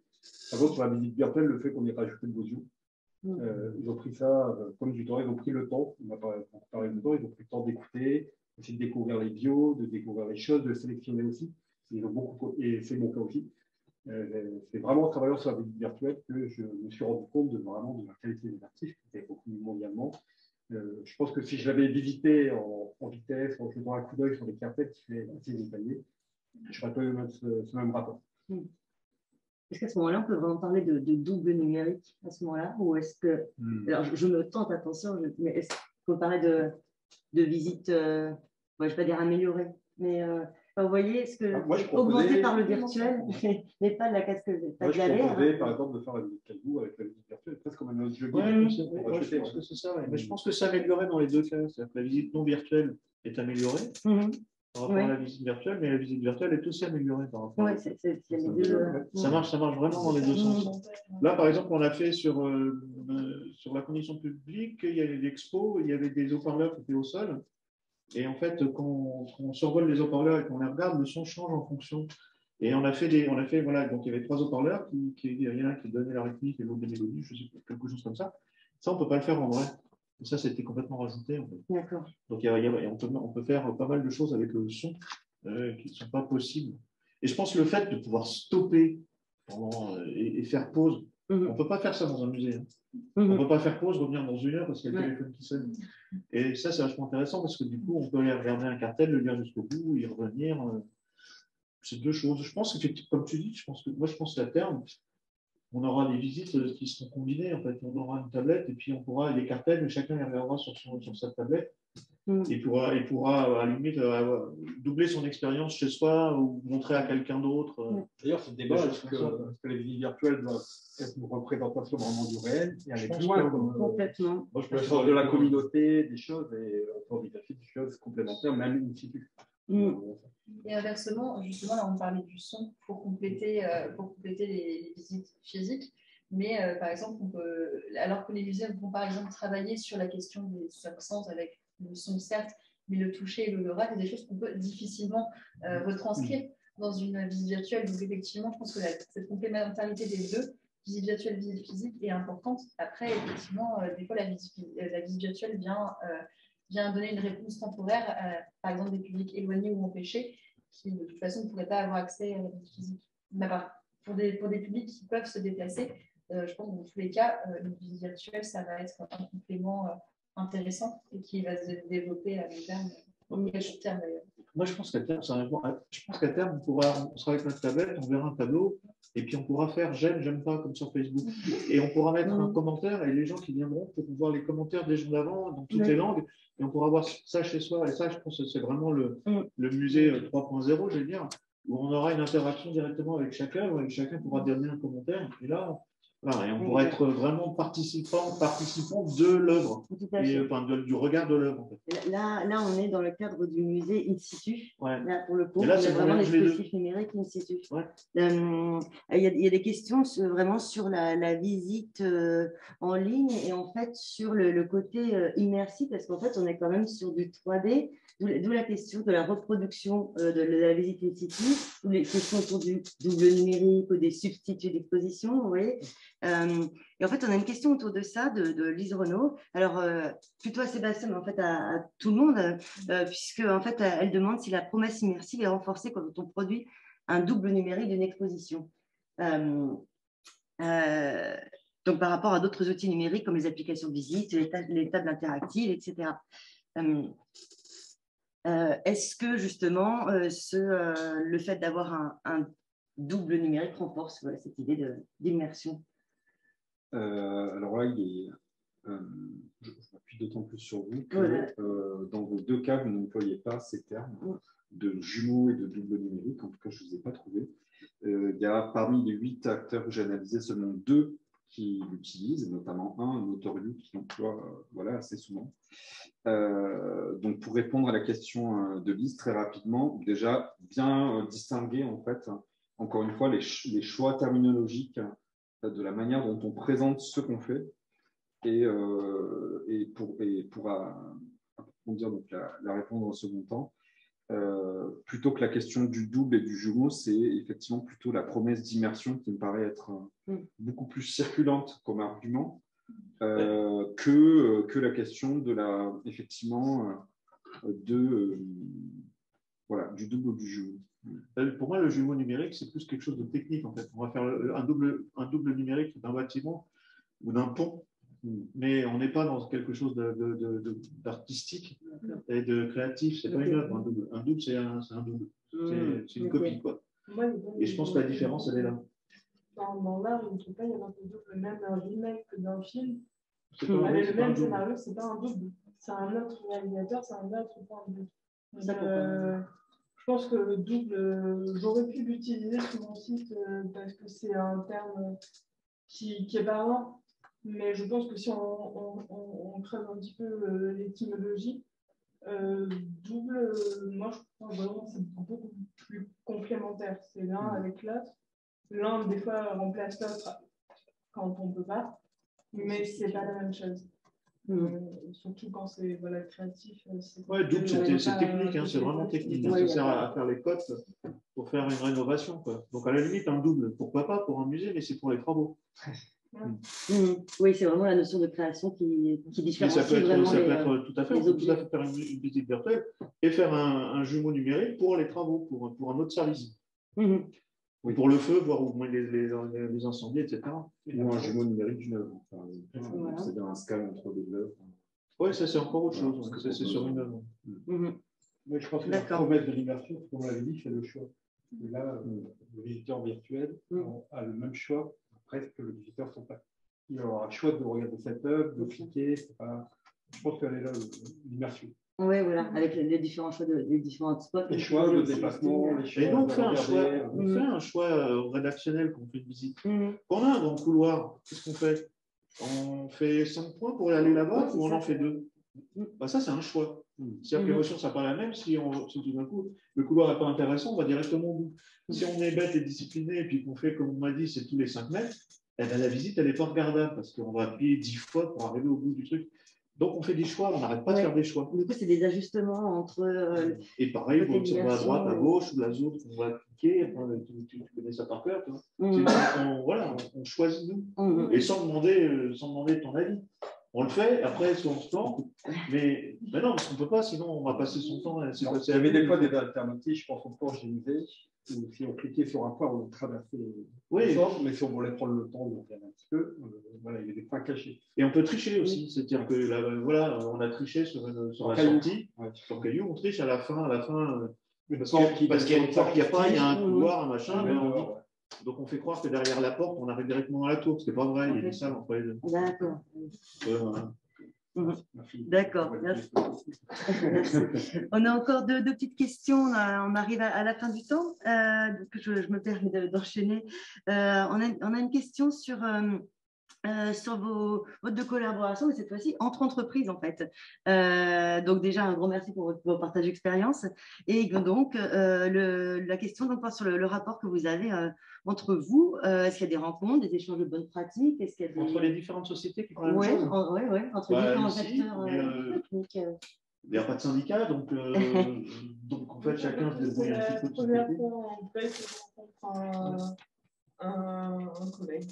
D'accord, ouais, Donc, d'accord. euh, non, non, euh, bah, dans la région, je n'ai pas. D'ailleurs, on ne s'est pas rencontré lors du forum parce que j'étais occupée, mais. Donc, oui, non, mais ça, ça peut être intéressant parce qu'on a des techniques euh, différentes, Mhm. des technologies différentes, des, des portes d'entrée aussi différentes. Il y a l'immobilier, il y a la culture, il y a plein de. Et pourtant, la techno est la même. Du Mm. coup, euh, du coup, oui, savoir, euh, enfin, il y a plein de techno et savoir quelle techno utiliser, pourquoi, parce que c'est pas tout le temps, euh, c'est pas parce qu'on peut qu'il faut. Mm. Et du coup, de, voilà, il y a par exemple la 3D, c'est super, mais pourquoi la 3D et pas 360 Des fois, la question peut se poser. Et du coup, de pouvoir échanger avec des, des, Mm. des, des personnes qui font le même métier, c'est peut-être aussi Nous, on intéressant. le fait sur les salons. On va, Ok. on va sur des salons et on rencontre d'autres d'autres gens qui font la même chose que nous. Puis on discute et puis des fois on fait des accords aussi. On est, voilà, on est sur le point de faire des accords avec d'autres sociétés qui, qui, qui font un plus par rapport à, à ce qu'on ne fait pas. Ou, voilà. Donc on essaie aussi de trouver ce que les autres ne font pas et qu'on peut rajouter à notre propre service en faisant des accords avec d'autres. en fait. Mhm. D'accord. Je suis en train de faire pratique. Et nous, par exemple, il a fait 3D, il n'était pas notre client, finalement. Oui. J'ai dit, on est passé par Blue Capi, Mhm. qui a externalisé. Du coup, il y a eu ce rapport, du coup, euh, mais je je pense que c'est. Alors, Blue Capi s'occupait des contenus additionnels, faire l'interview des commissaires. Ah, Ils sont les restés quand même dans le projet. Ouais, ils sont dans le projet, c'était un client, eux qu'on a payé. Oui, c'était Oui, d'accord. voilà, nous on était payés par Blue Capi. Donc, même si ce n'était pas la même manière de travailler, le même, le même fond, je Mais ils pense nous que ont laissé- ils nous ont laissé faire. tranquilles, hein, Ouais. euh. On, était, on avait, c'est comme si on était en direct. hein. D'accord, merci. Et on a une dernière question, je pense qu'on a le temps. Euh, donc, vous avez la question des publics empêchés, euh, notamment avec des dispositifs type FAL, donc euh, facile à lire et à comprendre. Euh, on, pose des questions également donc, au, sujet des publics éloignés, notamment avec la question des zones blanches. Voilà. Est-ce que la question est évoquée dans la collaboration, dans vos discussions? Est-ce que C'est un Qu'est-ce point qu'on- évoqué. Qu'est-ce qu'on en fait? Oui, voilà, en fait, c'est c'est un peu le. Après, euh, après je crois qu'il il serait peut-être possible de faire en sorte que ces, ces, ces visites soient consultables, enfin téléchargeables et ensuite consultables. Euh, alors là, du coup, c'est c'est une question technique. qui, euh, Non, enfin, la seule chose qu'on fait, c'est qu'on essaie de- de- d'optimiser le temps de chargement pour que ce soit le plus léger possible. Et au départ, on avait même fait deux versions, une version bas débit, une version haut débit, euh, qui permettait effectivement d'avoir, euh, voilà, avec une qualité différente. Mais ça permettait dans les augmentes de pouvoir. Mais si elles sont blanches, elles sont blanches. hein. Donc, bas débit, haut débit, il n'y a rien. quoi. Oui, c'est ça. Donc, ça sert pas à Oui, donc ça, voilà. Pour euh, justement ce genre de, problématiques, là, on est en train de, de regarder avec la DRAC Mm. euh, pour être diffusé dans les microphonies. qui est justement ce système de diffusion dans les jeunes. Justement, on n'y a pas. Et donc là, on irait avec de la VR. Et la VR ne nécessite aucun Internet. d'accord. Et en plus, euh, de toute façon, les visites sont aussi sans Internet, euh, ce qui nous concerne. Mhm. Donc, euh, au final, ce n'est pas une question, c'est pas un problème. C'est juste qu'il y a différentes solutions pour arriver à, les toucher. Mhm. Donc, les micropolis, c'est un, un justement parce que justement, on est, pas, on est arrivé là-dessus parce que voilà, moi je suis en fauteuil, donc c'était ma solution un peu égoïste pour les PMR. Puis on a commencé à s'étendre pour euh, voilà, des personnes euh, euh malvoyantes, des problèmes d'audition et des problèmes justement, enfin, handicap mental. Et, et on s'est aussi rendu compte, du coup, en parlant avec les auteurs et en nous, en commençant à avoir un peu de partenaires culturels autour, bah, que l'inaccessibilité, c'était pas juste lié à l'handicap et qu'il y avait des fossés sociaux, des problèmes géographiques et donc, du coup, là, on est en train de travailler sur ce second point qui est euh, un peu plus gros, avec une plateforme pour vraiment aller, euh, aller s'adresser au public différent, euh, éloigné de plein de façons différentes.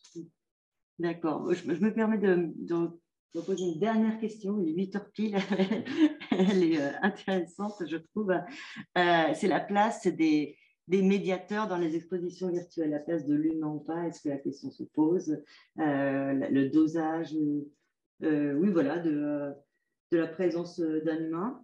Euh, en temps réel alors, c'est pas précisé, mais j'imagine soit en temps réel en visite guidée à distance, soit en mode vidéo intégré. On peut faire des visites où il va y avoir un, un, guide, un médiateur, et on mm. clique dessus et puis il se parler. Quoi parce qu'on a aussi des visites virtuelles en live aussi. et après, après, il y a l'autre possibilité avec le live. Voilà.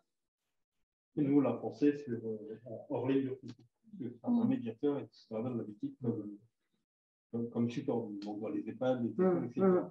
On a réfléchi aussi à ces visites euh, guidées virtuelles. Euh, on y réfléchi. Mais souvent, on voit que le, principe, c'est de les faire payer.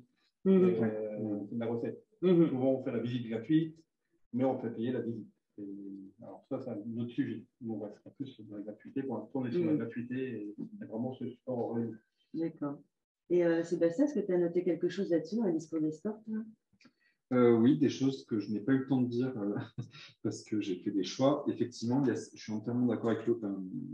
il y a cette thématique de la monétisation, en mm. fait, et souvent la, la, visite guidée à distance est présentée comme une solution permettant euh, permettant, de, permettant au musée d'avoir des revenus additionnels. Mhm. Donc là, du coup, c'est la médiation humaine, euh, mais présentée, parce que du coup, ces sites web sont en direction des, des professionnels, euh, donc, des institutions, comme étant une réflexion aussi sur un, modèle économique en cours à distance.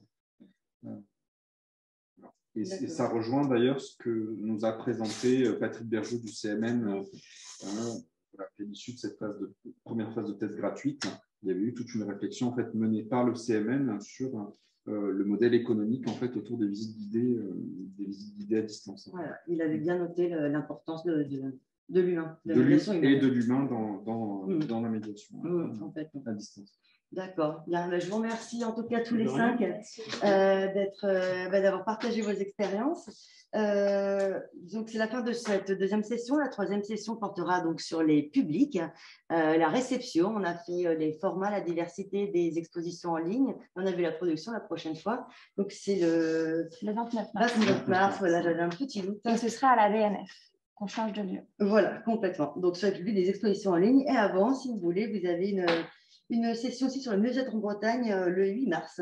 Euh, voilà, vous pouvez retrouver les, euh, toutes les informations sur le site de Métis, métislab.com sur Internet. Voilà. Merci beaucoup et bonne soirée à tous. Bonne soirée.